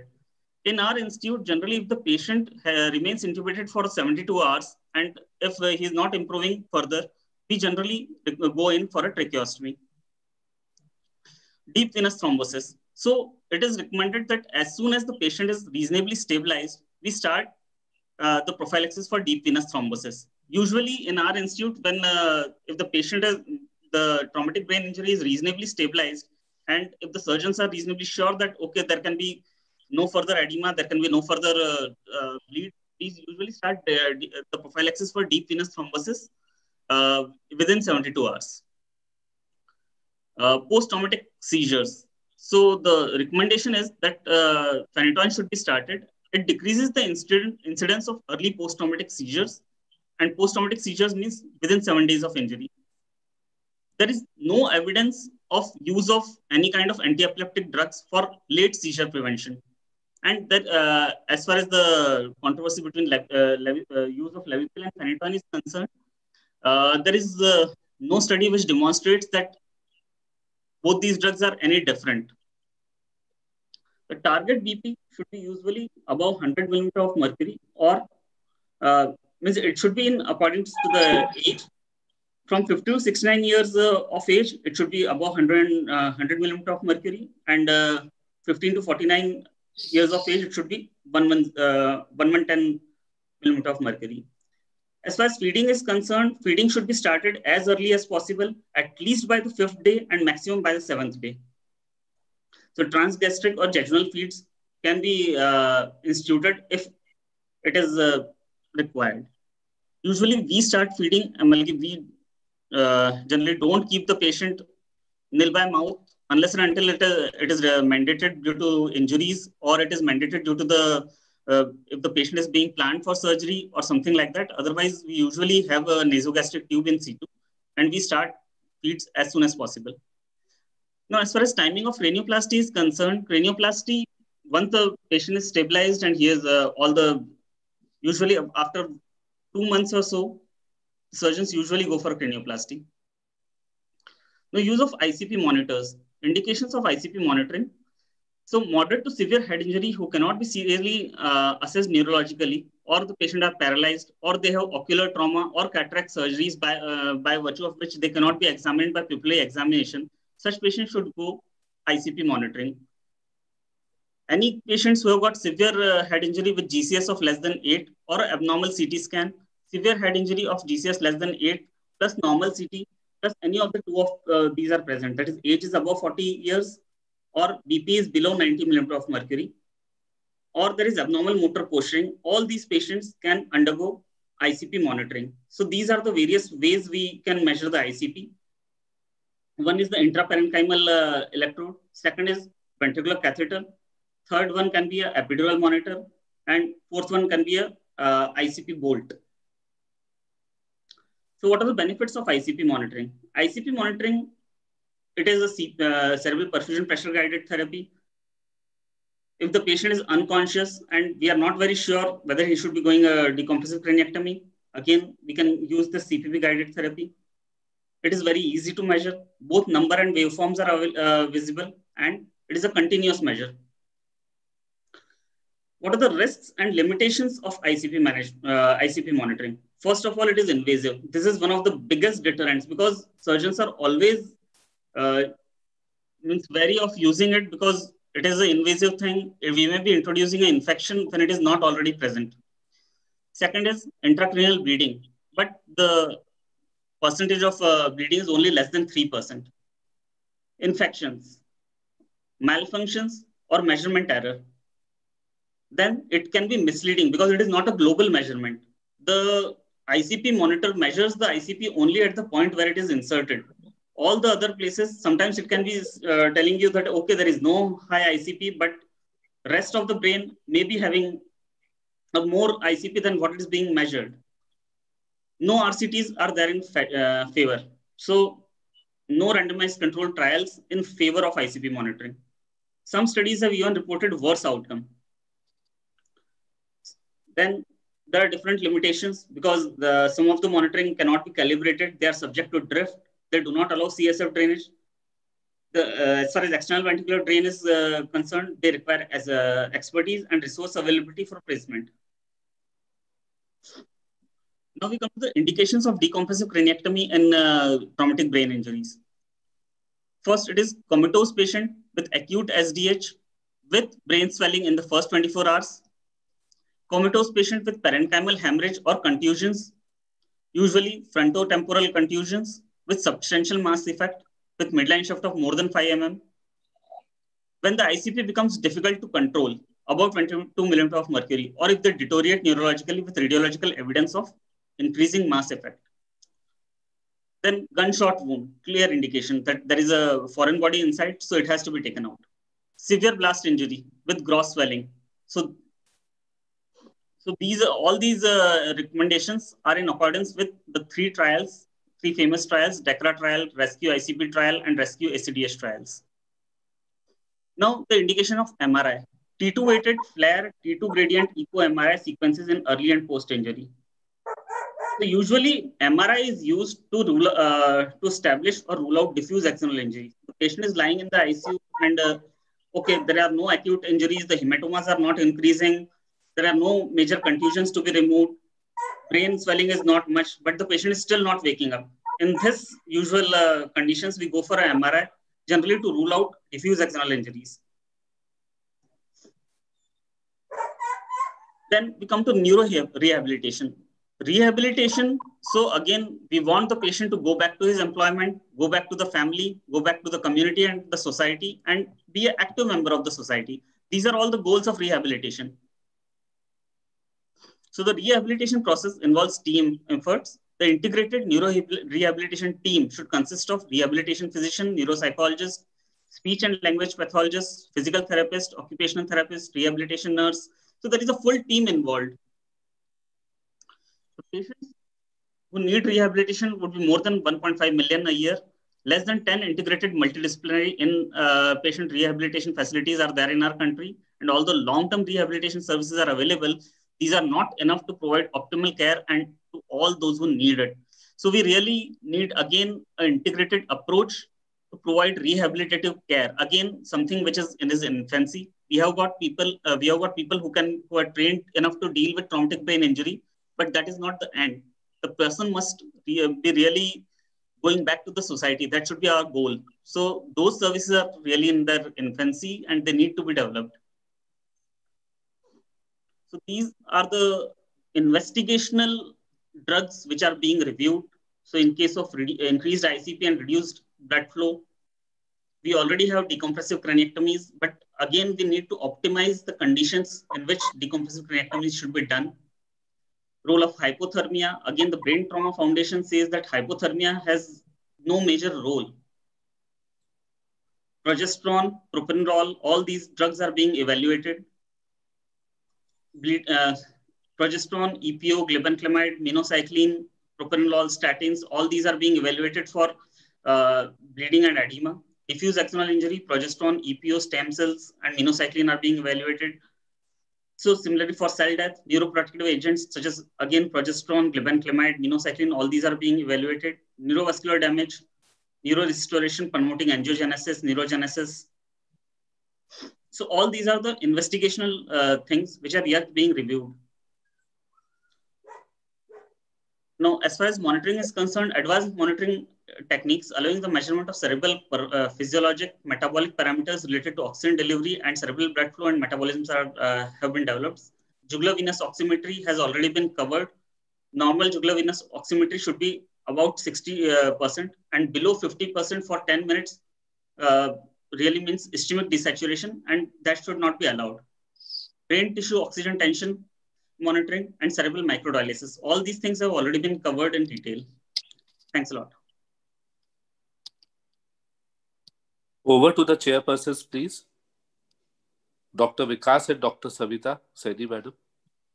Yeah, thank you, Dr. Vinod, for such a elaborative lecture and presentation.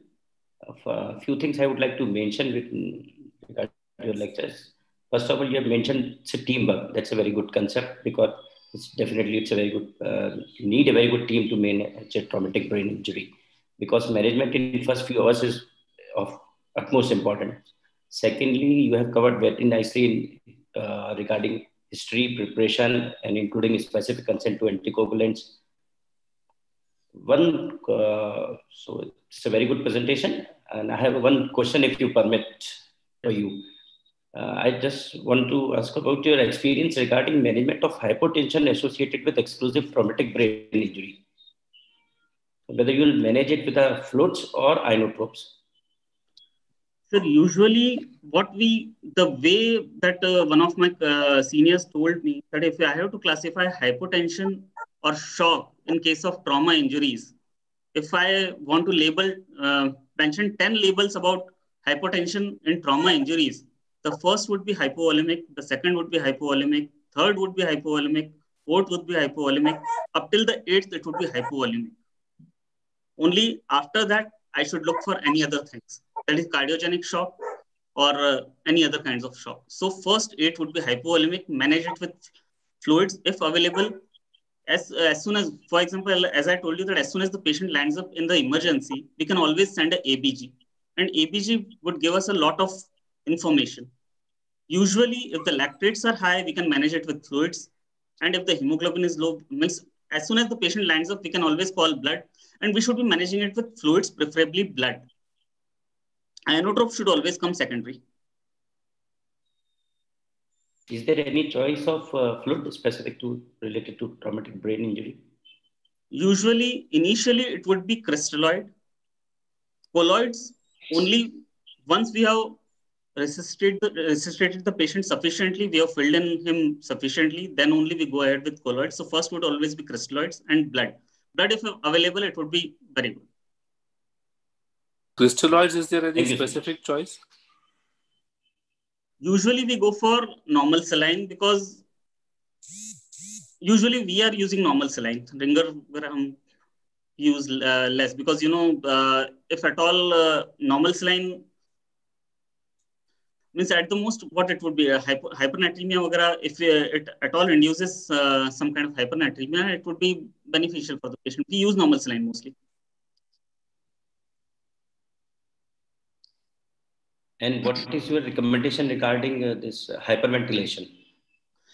Hyperventilation, as I said, that we should be targeting normoventilation, not hyperventilation.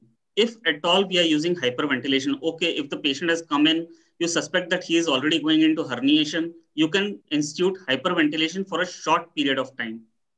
And it should always be a short period of time, as we always know that hyperventilation actually reduces the cerebral perfusion pressure. So it should be used only for a short period of time, 10 to 15 minutes. It has got no role beyond 24 hours. So beyond 24 hours, if someone means uh, if we put a ventilatory setting which is causing hyperventilation, it is actually detrimental. It has got no role beyond 24 hours. It is only acute management that okay, by the time it is a time buying management actually. Okay, by the time we are instituting all the other measures to reduce the ICP, you are also hyperventilating. That's all. Okay, thank you so much. Uh, I have got a, a query uh, in your talk. First of all, uh, I would like to say it was a very nice talk, and enlightening on such a vital topic, which is such a common presenting problem to the traumatic emergency departments. And everyone is facing this, and usually it is a cause of uh, big chronic disabilities also. Uh, you mentioned in your slides 23.4% uh, saline. So I want to know something about it in more detail. Uh, as I told you, uh, ma'am. Uh, where exactly you would like to use and is it really available and how come this much, uh, I mean, hypertonic saline, 23.4%? As I told you, ma'am, that this is something which I have read in the literature. We have never used it. 3% but, hypertonic me, saline is something. I don't know, 20, because 3% is at the max is the one which has been usually like uh, advised, advocated, or being used, and that too with caution, with having whatever precautions one. So 23.4% is exactly a very, very high, uh, mm, uh, I mean, the concentration which I think. So any other detail in this we could? Uh, Ma'am, this is something which I have uh, means absolutely read only in the literature while I was preparing the slides. Uh, we have never used 23.4% saline. Doctor, may I, can I add something? Yes. Yes, yes sir, please. please. Such things when you talk of about saline of 23%, if you are not sure, in my opinion, they should not be presented in the slide at all, yeah. number one. Number two is, Dr. Vinod, you gave an excellent presentation. I was highly impressed because you talked pre-operative, transport, then in the emergency and later on. It's excellent way. Thanks. However, two things, two points I would like to say. One was that you mentioned that it is suggested that hypothermia has no role. Absolutely right. But the aim is to keep the patient normothermic. Hyperthermia is very bad in such cases. Yeah, definitely. Sir. So that is, it is not only hypothermia. You must avoid hyperthermia. Yes. So that is that is very. You did not mention about it that it is not. Yes, sir, I just missed it. Normothermic and avoid hyperthermia at any cost. Yes, sir, definitely. Another another Agreed. another another important point was in the investigation. Blood sugar estimation should be done routinely, at least twice a day at 12 hourly intervals. In that also, blood sugar should not be allowed to go beyond 100 because hypoxic insults in hyperglycemia is again a disaster. That is absolutely established and it is proven. So blood sugar estimation is another, another important thing which must be and never allow it to go more than 100, 110 milligram. Thank you. Otherwise, the, uh, uh, the lecture was really excellent. Added Thanks, many things, you, many things to it. God bless you. Thank you very much. Thanks, sir. Sorry about the 24.4%. It was a last, last minute addition. I just read it somewhere and I added it. Definitely, as I said, that we have no experience on that regard. We have never used that 24.4%. Okay, but that is quite interesting that uh, it should be explored actually what, uh, how it is and how it would help in the clinical scenario. Is it? But anyway, thanks for uh, an excellent talk on the topic. And uh, Dr. Mayank, you can take up the questions if there are, uh, th those are there in the chat box. Yes, ma'am, surely, with your permission. Dr. Tapas Sharma is asking is what is the optimum ETCO2 value and blood pressure value to prevent the brain from bulging intraoperatively? No, optimum ETCO2 value. Generally, yes. and mean arterial pressure. Now, ETCO2 value, as I said, hyperventilation, I have just uh, told that hyperventilation is just a time buying measure. We should generally aim at normal ventilation. So below 26 is not recommended. And in the long term, uh, means when the patient is already in the ICU, he's beyond 24 hours, we generally don't let the ETCO2 go below 35. So because lowering the ETCO2 will further re actually reduce the cerebral perfusion. It will cause cerebral vasoconstriction. So again, it's a, only a time buying measure. By the time you are intubating the patient, by the time you are dealing with the patient in the triage, and you don't have any other measure, you're just intubated the patient, you're just preparing with everything else, you can hyperventilate. Otherwise, don't hyperventilate. It should be lower level of normoventilation, never a clear hyperventilation. And hyperventilation has got no role beyond 24 hours. And, as, yes, please.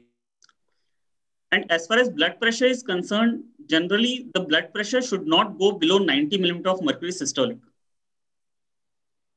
That is the way it is. And usually the way to manage the blood pressure would be ideally initially manage hypovolemia. Always suspect hypovolemia in a trauma patient below means uh, before you uh, suspect anything else, any other cause of shock. There are two more questions. The first one is in the choice of fluids of traumatic brain injury, is a balanced salt solution acceptable or not?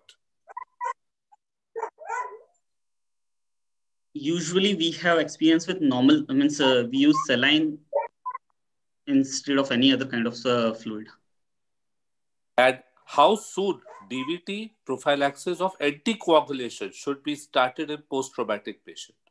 No, as I said that as soon as uh, it is a balanced decision between an anesthetist and a surgeon or a critical care personnel and a surgeon. And surgeon has a upper hand in it because he should be very sure about what kind of surgery has been done, what what kind of vascular structures were damaged, and once the brain swelling has means uh, brain it, there is uh, 72 hours after the means uh, the brain swelling has uh, brain has stopped swelling and uh, 72 hours after the surgery, usually we start chemical uh, DVT prophylaxis.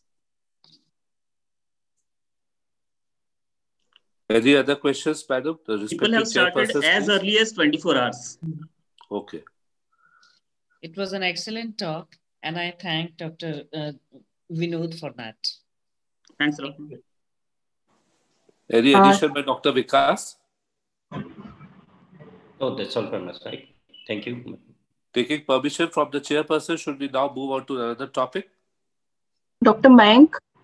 Ji. Uh, yes. Uh, sir, I have a uh, thing to mention about the sodium, I mean the NaCl solution, 23.4%. Like uh, that is like used only in neurocritical care units where it is prepared specially in the pharmacies and then it is procured that is ex exceptionally only for use in a neurocritical care unit and most of the studies which are performed by the i mean which have been elaborated in the brain trauma foundation guidelines are using 23.4% saline. The advantage of this is it is like a very small volume usually uh, like for weight less than 50 kgs uh, less than 20 ml or maximum 30 ml is required which can be given over 10 minutes as a bolus to prevent emergent uh, or impending herniation. So that is the advantage of 23.4% saline. In countries where it is not available, we commonly use 3% saline instead of mannitol. That is what, uh, what are the disadvantages of giving this 23.4% saline in patients? Ma'am, uh, that is, uh, I mean, should, what I mean, precautions and what we should be prepared while giving this Madam, as a os- treatment. Madam, osmotic demyelination syndrome. That is what she has said. Like we have to give it at a very it uh, the weight by volume. The volume has to be on the lower side. It has to be given over a longer span of time of thirty minutes.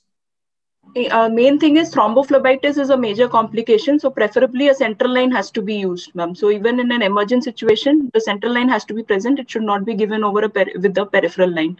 And uh, whereas even 3% saline is not recommended through, by a peripheral IV line.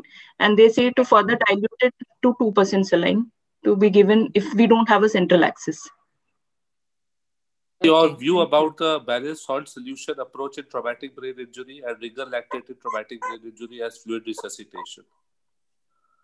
You're asking me, sir? Yes. Uh, sir, why uh, balanced salt solution is the preferred, and when it is not available, ringer lactate, what we commonly use, we don't use it as a first uh, fluid, but uh, we can safely give up to one liter of ringolactate, which will not harm, but not as the initial resuscitation fluid. In the initial resuscitation fluid is generally normal saline, and if balanced salt solutions are available, then that is the preferred fluid for initial resuscitation.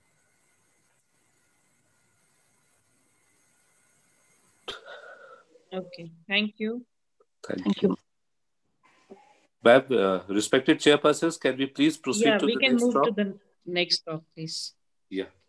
Thank you so much, respected Sa- Savita Sani madam, and respected Dr. Vikas Gupta sir, and respected Dr. Vinod Gagrani sir. Taking your permission, I, would, I now move on to another topic. And now I would like to invite our very own respected Professor Anil Ohri sir. Are you here, sir? Respected sir? Ohri sir? He's logged in, Mayank. Uh, he, uh, for a brief introduction, he has retired as professor of Department of Anesthesia with effect from, uh, from Indira Gandhi Medical College, Shimla, where he served for 10 years as head of the department. And now he is posted in the Department of Anesthesia, Bareilly RMNI Hospital, as professor and head of the department. His areas of interest are pain and palliative care medicine, cardiac anesthesia, and disaster management. Welcome on board, respected Dr. Anil Ohri, sir. Ohri, sir, are you there?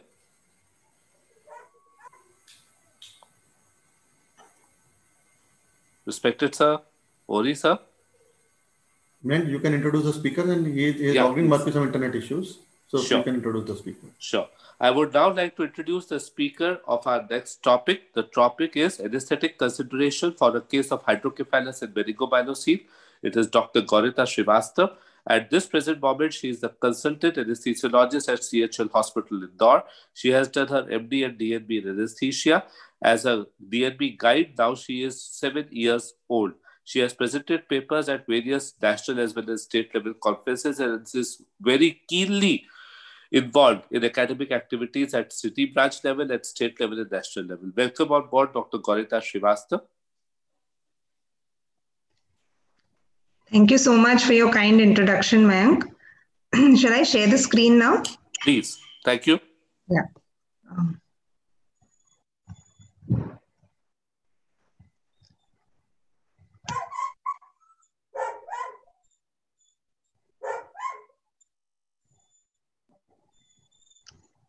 uh, am I audible? Are audible. Uh, okay. Uh, good evening, uh, respected seniors uh, and my dear colleagues and friends. Uh, I'm Dr. Gaurita Srivastav, and uh, thank you, Mayank, for involving me in this academic activity for today. It's been a really informative evening with all my colleagues presenting on neuroanesthesia and critical care. Uh, I will be speaking on the anesthetic considerations in hydrocephalus and meningomyelocele. Uh, so meningomyelocele is a complex congenital spinal anomaly which occurs because of neural tube defects during the first four weeks of gestation. The incidence is 1 in 1000 live births with a slightly higher incidence in females, that is 1.2 is to 1. Uh, it can occur anywhere along the spinal cord, but 85% of the cases are uh, seen in the lumbosacral region. It is most commonly associated with uh, deficiency of folic acid. So, uh, administration of folic acid from the first trimester of pregnancy is known to significantly reduce its incidence. So, the components of a meningomyelocele can be a plain meningocele or a meningomyelocele. So, the meningocele involves both the meninges, the dura, and the arachnoid without involvement of neural components whereas a meningomyelocele will involve the neural components, nerve tissues, roots, as well as CSF. This is a diagrammatic representation of the same, wherein uh, the most uh, insidious uh, form is the spina bifida occulta, which is just a plain uh, failure of the neural tube uh, defect to fuse with no protrusion of the contents of the spinal cord. And this is next followed by a meningocele, which is showing the meninges and the meningomyelocele with the neural tube contents as well. This is a diagrammatic representation of the same. A meningomyelocele is most commonly associated with the Arnold-Chiari malformation. This is the herniation of the cerebellar vermis through the foramen magnum. The tonsils extend down into the spinal cord and uh, this causes, this may lead to compression of the brainstem. So the lower cranial nerves run up instead of down. This is mostly associated with hydrocephalus in 85% of the cases and also associated with other developmental abnormalities in the cardiovascular, GI, genitourinary systems as well. A special consideration in the Arnold-Chiari malformation is that utmost care must be taken during the positioning of the patient during intubation as well as extubation. And for a meningocele, there should be no pressure on the exposed neural placode. Post-operatively, these patients are very prone for stridor and apnea, so a careful watch has to be kept on patients post-extubation. Meningomyelocele is associated with other congenital conditions such as the clubfoot, bladder exstrophy, prolapsed uterus, tracheoesophageal fistula, Klippel-Feil syndrome, and in very rare conditions also cardiovascular anomalies. Antenatal diagnosis of meningomyelocele is very much possible with the help of an ultrasound as depicted in the diagram and also with biochemical tests such as the alpha fetoprotein levels in maternal serum as well as amniotic fluid which are highly elevated. So what are the problems that we occur while treating patients with meningomyelocele? The most common problem is that the open neural tube uh, defect which is present is continuous with the surface of the skin. So the spinal uh, contents are exposed to the skin. So a CSF leak can commonly occur and these, uh, these infants are uh, at high risk for bacterial meningitis. So this is the most common indication for a very early operative repair. Ideally, it should be done within 48 hours of delivery to prevent infection. As the duration increases uh, for which we perform surgery, the chances of uh, neurological complications increases. This is a picture of a baby with a very huge myelomeningocele. Uh, but we must keep in mind that even after repair, especially if the repair is done at a later stage, the neurological deficit which occurs because of tethering of the spinal cord uh, could be fixed and irreversible, and it may rarely improve following uh, the repair. So that has to be kept in mind and explained to the uh, relatives and the uh, patient's attendants. Uh, this could also lead to diminished control of the lower limbs, paraplegia, and uh, involvement of the bowel and bladder. We next move on to hydrocephalus. Hydrocephalus means literally water in the brain. These patients typically uh, present with a tense fontanelle with frontal and parietal boss bossing and a positive sunset sign, as you can see in this picture. So the causes of hydrocephalus are, uh, it can be divided into two parts. That is a congenital hydrocephalus, which occurs because of intrauterine infections, the torch infections, or various congenital malformations, such as the Dandy-Walker syndrome, aqueductal stenosis, Arnold-Chiari malformation. Then we then move on to acquired hydrocephalus, which occurs uh, in infective cases of meningitis, which could be tubercular or pyogenic, or in posterior fossa tumors, arteriovenous malformations, IC bleeds, or a ruptured aneurysm, or most commonly also in trauma. So what are the imaging modalities uh, to diagnose both myelomeningocele as well as hydrocephalus? Most commonly, as I have already mentioned, uh, ultrasound is a very good diagnostic tool for uh, meningomyelocele detection.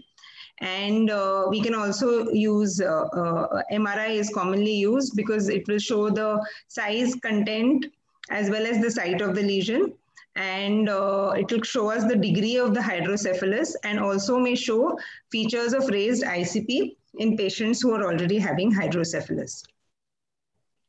So how do these patients present? Uh, most commonly, uh, uh, myelomeningocele is obviously a, a, a, presentation of the pediatric population. Uh, so the features of the raised uh, intracranial pressure is what are most commonly presenting. So they have persistent vomiting, frontal bossing, dilated scalp veins, and various cranial nerve palsies.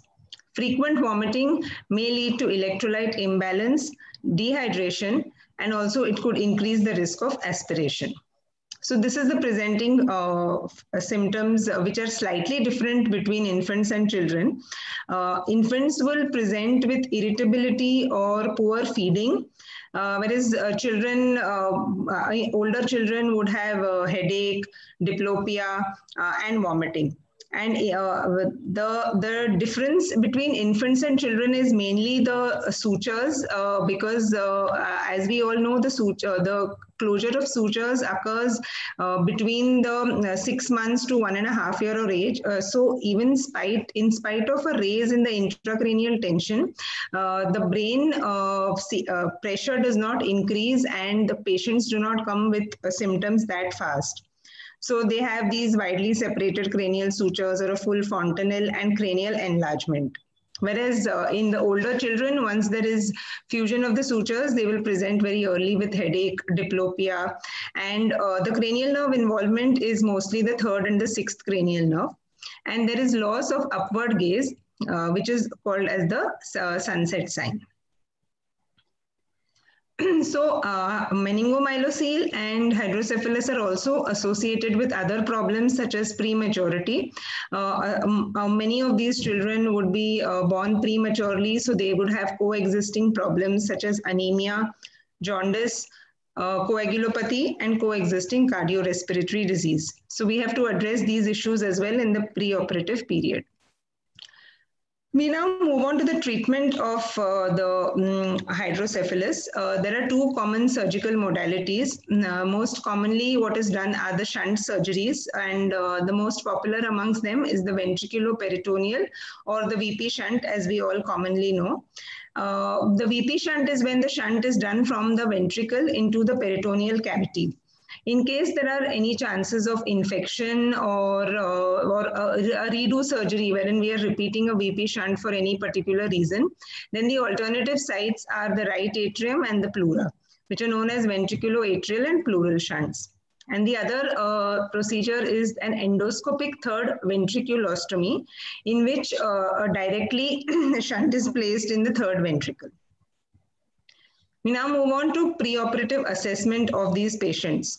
So obviously, uh, the main thing that we are looking for in preoperative assessment is the symptoms of raised ICP. We have to differentiate or we have to know which are the patients which have a raised ICP and we have to, uh, the because the anesthesia um, management will uh, depend on that completely also assess their level of consciousness because children with altered mental status would be at higher risk of aspiration in the postoperative period. A thorough cardiovascular examination should be done to rule out cardiac septal defects. And a note has to be made about the preoperative anticonvulsant therapy that the patients are on because this has to be continued in the perioperative period as well. You also assess the volume status of the patient because as mentioned earlier, uh, these patients because of frequent vomiting could be hypovolemic and dehydrated and also could be having electrolyte imbalance.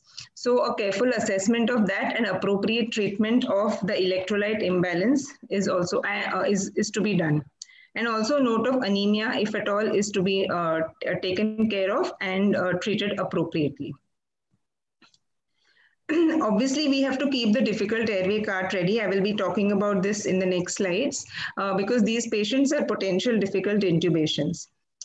Uh, pediatric airway as such presents uh, the following challenges to us because the uh, because the pediatric patients have a large head and tongue uh, as compared to the rest of the body. They also have a, a um, overhanging or an omega shaped epiglottis. So visualization, uh, laryngoscopy and visualization of the larynx is more difficult as compared to the adults.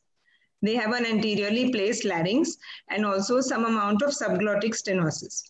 In addition, in hydrocephalus, uh, there is macrocephaly, that is the head circumference is increased. So this leads to, this may lead to extreme flexion of the neck, which will make positioning for laryngoscopy and intubation more difficult.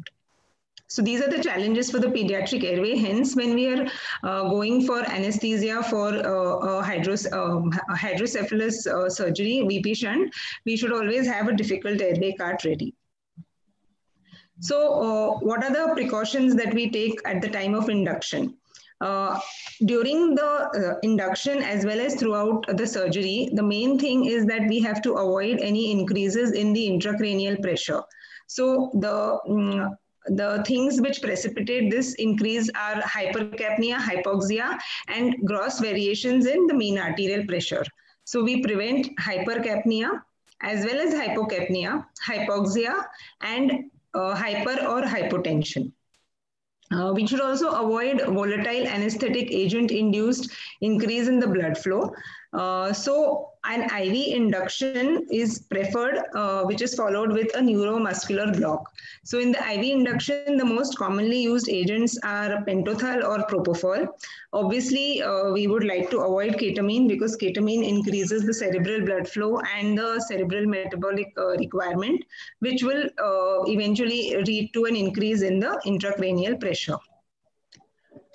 So, in patients with uh, mm, uh, hydrocephalus with uh, potential full stomach, a rapid sequence induction uh, uh, with uh, succinyl scoline can be done or rocuronium, whatever is the preference.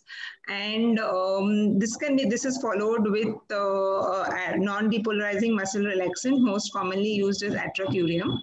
the attenuation of the um, response to scoline can be done with defasciculating doses of neuromuscular blocking drugs or with opioids. Opioids such as fentanyl are commonly used to attenuate the pressor response. The other option for induction is obviously an inhalational induction if we do not have an IV line in place. So uh, an inhalational induction followed by uh, securing an IV access can also be done. During the maintenance phase, uh, we uh, have to maintain anesthesia with uh, oxygen and nitrous and uh, with the help of inhalational agents or with TIVA, whatever is the preference of the institute or the anesthetist. Uh, and it, it is known that um, MAC of less than 1 with the volatile anesthetic agents does not increase the cerebral blood flow, so can be safely used. In patients who have raised intracranial pressure, nitrous oxide is best avoided to prevent further increase in the pressure. Atracurium boluses are given as per the dose, and uh, certain uh, cases, uh, mannitol 0.25 to 1 gram per kg is also given to reduce the intracranial pressure. So throughout the surgery, we have to keep these things in mind, avoid the ri rises in the intracranial tension, maintain normocarbia, mild hyperventilation as in, uh, uh, you know, a PaCO2 between 30 to 35 is beneficial, nothing less than or more than that. And we should keep in mind that if the patients are on chronic anticonvulsant therapy, then that could lead to hepatic enzymatic induction. Hence, the dose of the neuromuscular blocking agent uh, will have to be increased appropriately. Uh, also keep in mind that uh, most of, I mean, a few of these patients could be premature infants. Uh, so in those patients, uh, chances of opioid overdosage is also there. Uh, hence, there should be very judicious use of our drugs. Adequate pain relief can be given with IV analgesics as well as suppositories and um, reversal is done at the end of the surgery. Next, move on to a very important point, which is the positioning of the patient, which is a major anesthetic challenge in these cases. Uh, so we have to avoid excessive rotation of the head to any one side. In a ventricular, uh, uh in a VP shunt, head needs to be turned uh, to one side. So avoid excessive rotation of the head. Uh, keep the eyes adequately lubricated and protected. Secure the endotracheal tube in the non-dependent corner of the mouth. So to prevent the drooling of secretions and uh, loosening of the adhesive tapes because of that. We should also keep in mind that a, a large head due to hydrocephalus will be a difficult mask ventilation as well as an intubation and always keep uh, or you know always keep the uh, keep yourself in a position to visualize the child under the surgical drapes. Because here we are talking about really small infants or in, in fact even premature infants. So uh, it should not be that the uh, that these children or infants are totally out of our uh, you know vision. So we should be able to visualize them Next, move on to the prone position, uh, wherein uh, the myelomeningocele surgery is done in the prone position. So we have to keep uh, good sized bolsters under the chest and the pelvis and keep the abdomen totally free because uh, if the abdomen is not free an increase in the intra-abdominal pressure will hamper the ventilation of the patient. It will increase our airway pressures. It also compresses on the inferior vena cava and increases epidural venous pressure, which will increase the chances of bleeding. And also we have to keep in mind that adequate padding of uh, all the pressure points is done and avoid congestion of the face and the tongue by proper positioning of the patient. We must remember that extreme flexion during surgery uh, of the neck uh, could lead to an endobronchial intubation because of short trachea and intraoral kinking of the tube. Hence, armored endotracheal tubes are preferred in certain institutes. And also keep in mind that excessive flexion or extension of the neck in an Arnold-Chiari malformation may cause brainstem compression and uh, dependence on the ventilator in the postoperative period. The precautions that we are using at the time of intubation should all be kept in mind even at the time of extubation. So this is the position uh, which is uh, which may be uh, needed to be given at the time of intubation for a very uh, large lumbosacral uh, meningomyelocele. The meningomyelocele, the the mm, protrusion has to be also kept in a donut to prevent any damage and uh, you know rupture of the meningomyelocele and um, uh, the head uh, should also be kept uh, in these adequately sized donuts so that proper alignment of the axis at the time of mask ventilation is possible this is the typical position for prone ventilation. You can see that the bolsters are kept at the chest and the pelvis to allow unimpeded ventilation. Intravenous access in these patients uh, may be extremely difficult because they, if they are preterm infants and uh, neonates, uh, so that could be a challenge. And hence, uh, we have to keep in mind that uh, we may require a central venous access, especially in a large meningomyelocele, uh, which may be associated with significant fluid and blood loss. We then move on to extubation. Uh, the criteria for extubation are that the patient should be awake and breathing well with an intact cuff and gag reflex, a forced vital capacity of more than 10 ml per kg, and maintaining adequate uh, O2 saturation on spontaneous ventilation. Uh, so, uh, uh, some considerations about the VP shunt uh, surgery. Uh, these patients may come for repeated surgery or revision surgery because the shunt gets misplaced because of normal growth of the child, or it can get mal. It, it may go have malposition, it may get blocked, or it may get infected. So these patients sometimes come for repeated surgery. And uh, the other procedure is uh, the endoscopic third ventriculostomy, wherein ringer lactate is commonly used to irrigate the third ventricle at the time of the ventriculostomy, wherein bradyarrhythmias may occur. So you have to be watchful for them. And initial cannulation of the ventricle at the time of a VP shunt may also be uh, associated with an abrupt bradycardia and hypertension, which can be treated promptly with atropine. Rapid intraventricular drainage of CSF during a VP shunt surgery should be avoided because that may lead to arrhythmias and a hemodynamic collapse. A careful observation of the patient in the postoperative period should also be done. If the patients have an altered mental status, then they could be at an increased risk of aspiration uh, because of peritoneal handling. So we have to carefully see these patients in the postoperative period. As far as monitoring is concerned, standard monitoring uh, like ECG, pulse oximetry, capnography, temperature monitoring is to be done. So uh, mild hypothermia as in uh, 34 to 35 degrees Celsius is supposed to be beneficial. As far as fluid management is concerned, glucose containing and hypertonic solutions are definitely not to be used because hyperglycemia worsens reperfusion injury.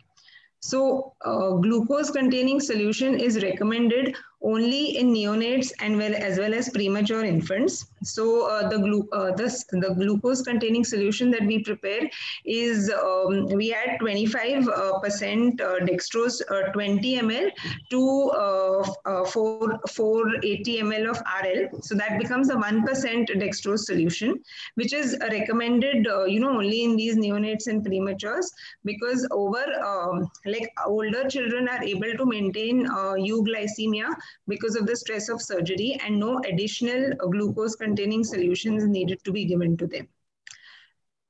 but of course, we should keep in mind that hypoglycemia should be prevented at all costs. So glucose monitoring, especially in premature infants, is of utmost importance.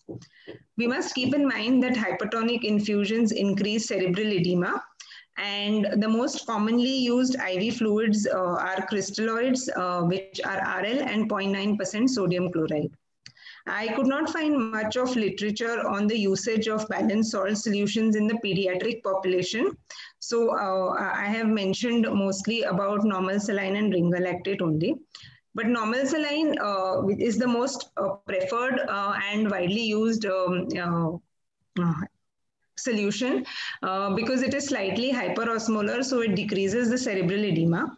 But we must keep in mind that large quantities can lead to hyperchloremic metabolic acidosis and hypernatremia. Ringer lactate is slightly osmolar, so large quantities may lead to cerebral edema. And of course, we must keep in mind that blood loss is to be replaced promptly with PRBC.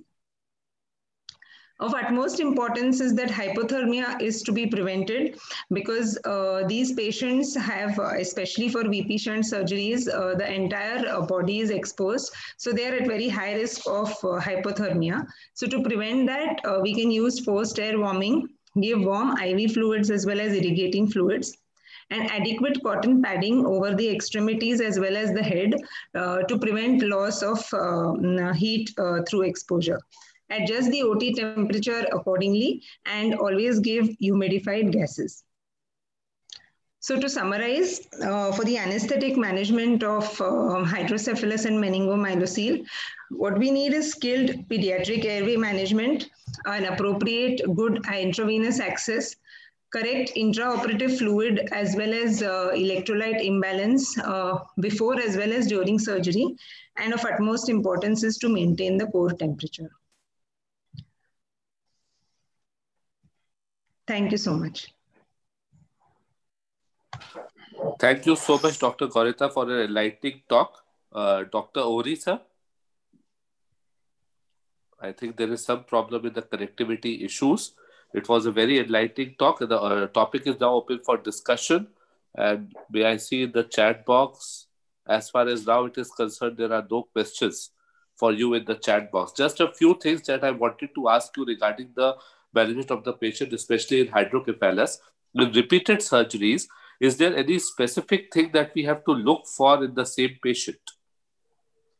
When we are doing repeated surgeries of ventriculoperitoneal shunts in one patient, then any, any specific thing that we have to look for in subsequent cases, like regarding his weight part, regarding his neurological status, regarding his antibiotics, anything that we have to take part? Most, I, I, think most of the times the, the cases that I have seen which come for repeated surgeries because of infection. That is the, the you know, the peritoneal uh, part of the shunt gets infected. So it is uh, like, it is from the antibiotics point of view that the surgeons, they send a culture and, you know, then they change the antibiotics accordingly but uh, I, I, have not seen any association with weight or you know altered mental status or anything. It's mostly uh, malposition of the shunt that also occurs commonly. And the other thing is infection. And sometimes of course with growth of the child if you know it is done at uh, a very young age then as as the child grows older the shunt gets malpositioned. So then we have to do a repeat surgery uh, just one more small question is there in the chat box. The first one is What is your practical experience with injectable ketamine? For uh, is it for neurosurgical procedures? Sorry, I'm not able to hear you, Mayank. For hydrocephalus procedures. No, no, uh, I, I, am not using uh, intra, intravenous ketamine in any of the neurosurgical procedures. My agent of choice is uh, either uh, pentothal or propofol. What about vancomycin? No, even in meningomycin, uh, I don't, I mean, I, uh, ketamine usage is not recommended. Ketamine is anyways not the recommended drug of choice for any, uh, uh you know, neurosurgical procedure. Oh. Dr. Mayank, if my if I may interrupt, sorry. Uh, I was wondering why should you uh, choose to use ketamine when you uh, can use other drugs which are safe? Exactly, give, ma'am. Give exactly, them slowly. There was a question in the chat box regarding the well, use of ketamine. Yes, so that, that's, that's exactly I want to address that uh. there is actually no need to use uh, fallback on ketamine the other uh, drugs are uh, pretty safe if given slowly. If you are concerned that there'll be a sudden hypotension, bradycardia, just give slowly. Now, I wanted to add a few points. One for the ETV, that's the endoscopic uh, third ventriculostomy. One, you should have a good IV access. Second, uh, you may consider an arterial line. Though it's a very short procedure, there are sudden changes in the pressures and the arrhythmias, which you cannot probably detect uh, without an arterial line. So, uh, uh we, when you do a VP shunt, everything is smooth and slow. But in ETV, it can be uh, catastrophic also. So, you should be careful with ETVs. Mm, regarding uh, the position of VP shunt, uh, Dr. Srivastav, you showed a very nice picture where uh, wherein it's important till you get your axis aligned. Sometimes uh, the intubation part can be tricky. And see scoline is always plus minus. Whenever you're trying to intubate a baby with a huge head like this with an increased icp you're not sure whether you should use scoline electively or not. Though scoline is not going to suddenly raise the pressure because you're using um, propofol as well. But still, I am not sure whether I'll choose scoline as my first choice. So I'd rather make a good position, good intubating position, a good backup, somebody who uh, understands this. One of the colleagues should be standing with you. You should have a backup plan in mind. Plan B should be ready. Only after a good mask ventilation, you should give your relaxant and, you know, we know how the difficult airway is dealt with. So you should have a good plan B. Third, the VP shunts often come with blocked shunts or even intestinal obstruction. You know, the shunt, which is the peritoneal part of the shunt, it uh, I've had children coming with obstruction and obviously the shunt is not shunting so the icp has also gone up. So there is intestinal obstruction with a raised icp so even the gastric emptying time with raised icp is delayed. So you have a relatively full stomach or maybe a proper full stomach with intestinal obstruction and raised ICP with a big head and a difficult airway. So we've had these kind of kids. So again, your teamwork helps. Do everything step by step. There is no need to panic. Plan and do it as a team in a step by step safe manner. These are simple procedures. We keep getting these kind of procedures every now and then. But the whole idea in this setup is to keep uh, these kids safe, not just intra-op, even post-op. Post-op monitoring, uh, especially in the immediate post-op, is very important.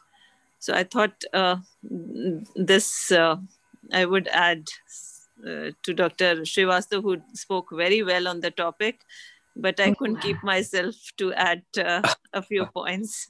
Thank you so much, ma'am. It is always an open topic for discussion. Thank you so much for the valuable input. Hello. Thank you. Uh, welcome. Hello.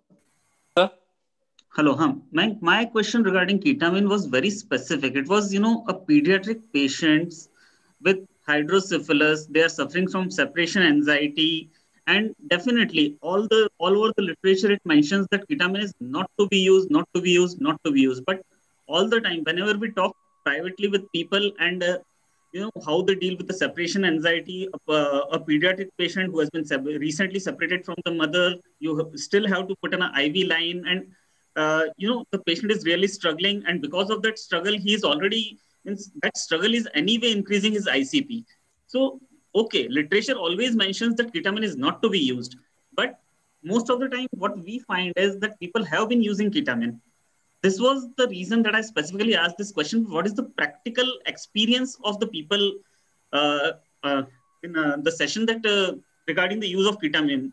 As I told you that all the time literature mentions that it is not to be used, but most of the times people are using it to manage the separation anxiety, to you know secure the IV line before the uh, patient is uh, induced. So that was the specific question.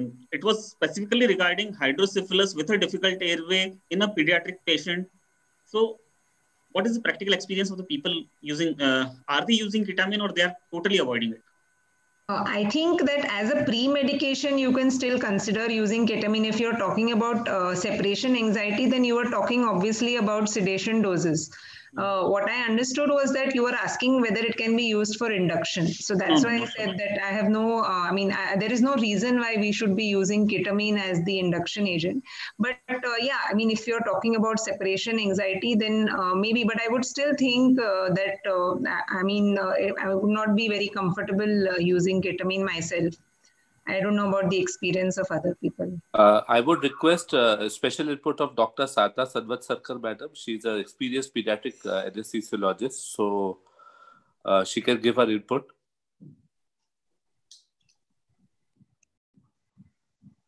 Madam, you are not audible. Madam, you are not audible. Yeah. Am I now audible? Am I audible now? Yes, ma'am. Am I audible? Yes, madam. Yes, okay.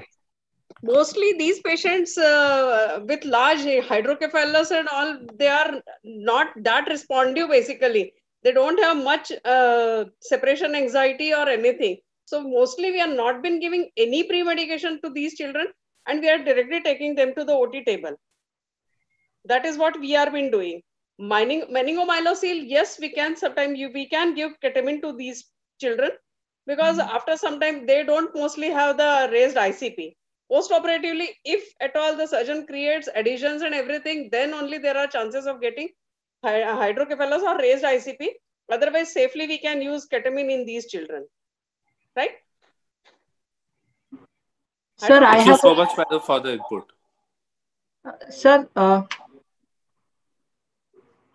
sir, please may I speak?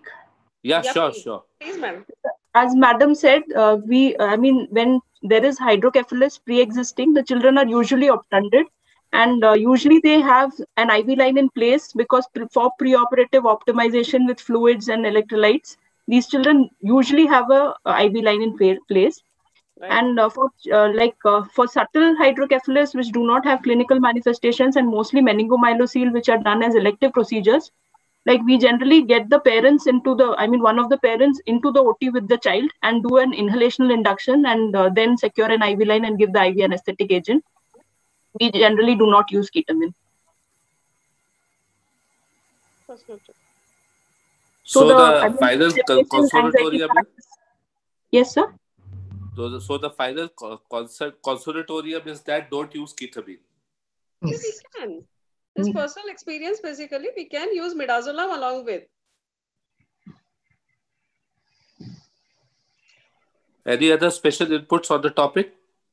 If I may add, ketamine. Yes, ma'am. Ketamine is not totally contraindicated. Yeah. Yes. But why do you really need to use it? Uh, no, uh, ma'am, as I said, uh, the inhalation, inhalational agents are being used. So inhalational agents they them, themselves will cause high ICP. And specifically, if we are using inhalational agents uh, in a person who is already struggling, anyway, there is a high ICP. That was, the, I'm not in uh, favor or against anything. Definitely, it's not something which is very clearly, which can be really established. But the thing is that what the people are doing, that's what I wanted to know, that uh, ketamine, inhalational, both will cause high ICP. So what next? Inhalational induction will help, especially if you don't have an IV line. Yeah. Yeah, so, that is true. That for that, then you don't have any other option but uh, other than using. Yeah, you have to use that. Yeah, you have to. And uh, the other thing is that an inhalational, I mean, uh, inhalational agents with a MAC less than one are non not documented. There's no literature to indicate that uh, they increase the cerebral blood flow and uh, intracranial pressure. So definitely, of course, for induction we will have to use higher MACs. But uh, throughout the procedure, we can definitely use volatile anesthetic agents, especially sevoflurane can be safely used at MACs less than one. Yeah. Uh, Dr. Mayank, I would like to uh, say a few things on ketamine. Please, madam. Please, madam. Actually, I was just trying to recollect when I uh, read and uh, what I read exactly about the ketamine regarding uh, in cases of neuro trauma or neurosurgery or as far as neuroprotection neuroprotective role is concerned so what i recollect is probably now its role is emerging as uh, yeah. in cases as well for neuroprotection, including neurotrauma and status epilepticus as well. So I think there is a uh, much more to say about ketamine. We need to further uh, explore its role I have to again read the literature. See, because I am not able to recollect when I read and what exactly I read. But this is what it is. So we cannot just say a single liner this moment that it is it should not be used. We cannot say that. And yeah. practically, many of us have mentioned that for many neurodiagnostic procedures in children, basically ketamine is the drug which is being used. So yes. this is what I want to say, and uh, maybe we can have uh, further discussion on the ketamine in any other uh, platform when uh, one is read a little bit. I would just like to share my experience since you have talked about, uh, you know, diagnosis. I'm not able to hear you. Gaurita, can you stop, stop sharing your screen, please?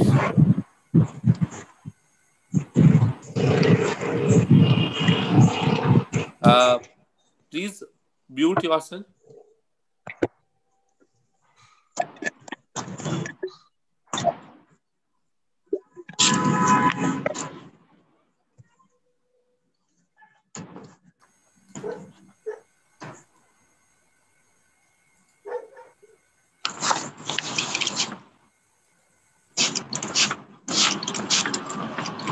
Dr. Lina has to mute herself. Dr. Lina, please mute yourself. Dr. Lina, please unmute yourself. Mute, mute, mute. Please mute yourself, sir. Bandwidth. Dr. Lina, please mute yourself. Yes, go ahead, please. Dr. Gaurita, you can go ahead, please. Uh, yeah, I was uh, since ma'am mentioned about uh, you know diagnostic procedures. Uh, so in the pediatric patients, uh, when I am routinely getting uh, CTs and MRIs done, so intravenous ketamine is my drug of choice. I use it especially. I mean, I use only ketamine even if the patients are having you know that raised. I mean, if they are coming for the procedure, it, it is because they have a headache, vomiting, whatever. But because you know of its ability to maintain spontaneous respiration, I think think, I mean, ketamine is my drug of choice. So it is definitely in that scenario, it is not contraindicated for me because I feel as compared to propofol, where I have that chance of, you know, in a uh, in in a remote setup of, you know, losing my airway. I think I would definitely prefer, and in fact, I'm using only ketamine for all my uh, diagnostic neurosurgical procedures as well as uh, when we are doing these chronic uh, subdurals, uh, when they're, they're doing a burr hole and we have to do the patients under, uh, you know, without uh, that spontaneous ventilation. Even in those cases, I routinely use uh, ketamine as my drug of choice because of its ability to maintain spontaneous ventilation as well as its analgesia capacity. So that significantly reduces the dosing of all the other agents. Any other valuable input from the audience? Sir, with your permission, uh, can we now uh, start with the proceedings? Malhotra, sir, with you your permission. you should start with the finishing the, the proceedings now. uh, yes, sir. That's what I want to say. Yes, sir. Uh, please, uh, please, please, please. Uh, from from RSACP Secretariat, I place on record the presence of and Dr. Savita Saini, Senior Professor and Head Department of Anesthesiology, PGIMS Rohtak. Thank you, Madam, for joining today, especially on a festival day. And, Thank you so much, madam. And also, I wish Thank very... you and happy Lohri to all of you. Thank you. Thank you so much, madam. Thank you so much, each and every person who has joined this webinar on an auspicious day of Lohri. And secondly, uh, we wish Dr. Indrani Himmat Kumar a very happy birthday. Yeah. Happy birthday, madam. Happy birthday from my side Happy too. birthday, Madam, happy birthday. Uh, madam Happy is, birthday, Dr. Indrani. Happy birthday, Indrani madam. uh, she was just here and she is logged in also. And I also uh, thank, uh, it was pleasure to have uh, Dr. Anil Ohri, Yes, though there was some technical issue. Ah, yes, happy madam. birthday, madam. Thank you. Happy birthday. Happy birthday. Happy birthday, Thank madam. you. Thank you very much. Thanks for all your love. Thank you very much. Have a great Lohri and have a great new year. Yeah, Thank you, same ma'am. here. Thank you so much, Same you. Thank you so much and same to all. And uh, I uh, thank Dr. Raki for her valuable comments. Presence of Dr. Rakesh Garg, Dr. Ima Meena Madam, Dr. Vijay Lakshmi, uh, Vishal Singla, and uh, other governing council members, Dr. Palta, Dr. Sunil Sethi, Dr. Rekha Das, and uh, other uh, members who have joined in here today. And we will, from our secretariat side, we'll meet uh, meet after two weeks.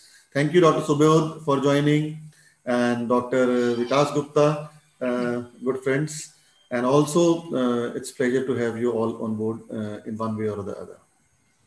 Uh, over to you, Dr. Mayank, uh, for concluding remarks. Uh, before that, Dr. Kaul, if you want to say a few Sir, words. that's what I wanted, sir. I wanted to request Dr. Kaul, sir, to please have a few words. And the vertical can also say a few words apart from thank you. It's an excellent day, Dr. Mayank. It is, a, it is an excellent day today. The Thank first sir. webinar, the first webinar of RSACP. Thank you, sir. Dr. Dr. Indrani's happy birthday. Thank you. Thank you, sir. Thank you. And then excellent topic selected by Dr. Mayank, worked very hard. The speakers, the chairpersons, all deserve praises, including, of course, Dr. Naveen, Dr. JP Sharma, other GC members.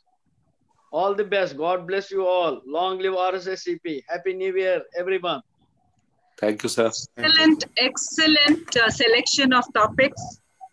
Very well, uh, you know, very well done by all the speakers. They have covered almost all aspects of it, and even the uh, even the discussion was amazing. I mean, that was a lovely discussion.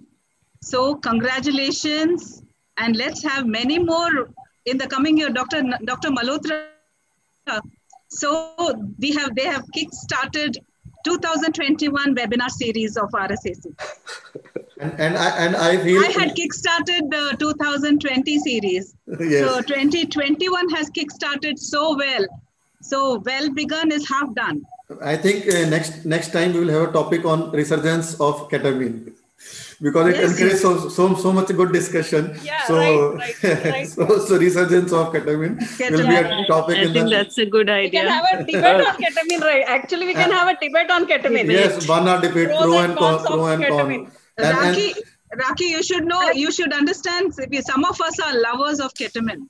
So Yeah, am I. exactly. So am I, ma'am. And sir, So I have I. finished 2020. I mean, in fact, most of us are the lovers of ketamine. beautiful but. Just uh, we don't want to mention it. No, no, no, no. That's do- not the point. mention. It's a beautiful point. drug to be Exactly. used judiciously in the right manner, in the right place. Then Exactly. it's nice. I, I strongly feel about it. No, Thank it's you got so much, sir. place. Dr. Varsha has mentioned that is it recorded? Yes, it's uh, on YouTube uh, channel of RSACP. You can view it anytime. RSSCP National Thank YouTube you so much, channel. Malhotra, sir. Thank you so much, Malhotra, sir, for making me Virendra Sehwag of uh, uh, RSACP Webinar Series 2021. हाँ, opening batsman. Congratulations, everybody. शुक्र है you are modest enough अपने को तेंदुलकर नहीं बनाया भाई ही। मेरे को लग रहा था मैं क्या फिर फिर मैं क्या मेरा क्या होगा फिर मेरे को आप ही रहोगे, sir.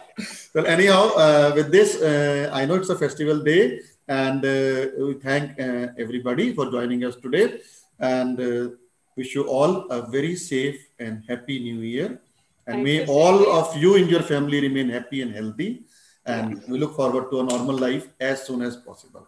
Uh, thank you very thank much. You, Long live Thank you so much, sir. Long live RSACP, sir. Long live RSACP. Long live RSACP. You are the host, so you have to uh, stop the close the meeting. Yes, sir. Just a minute. Uh, Ed.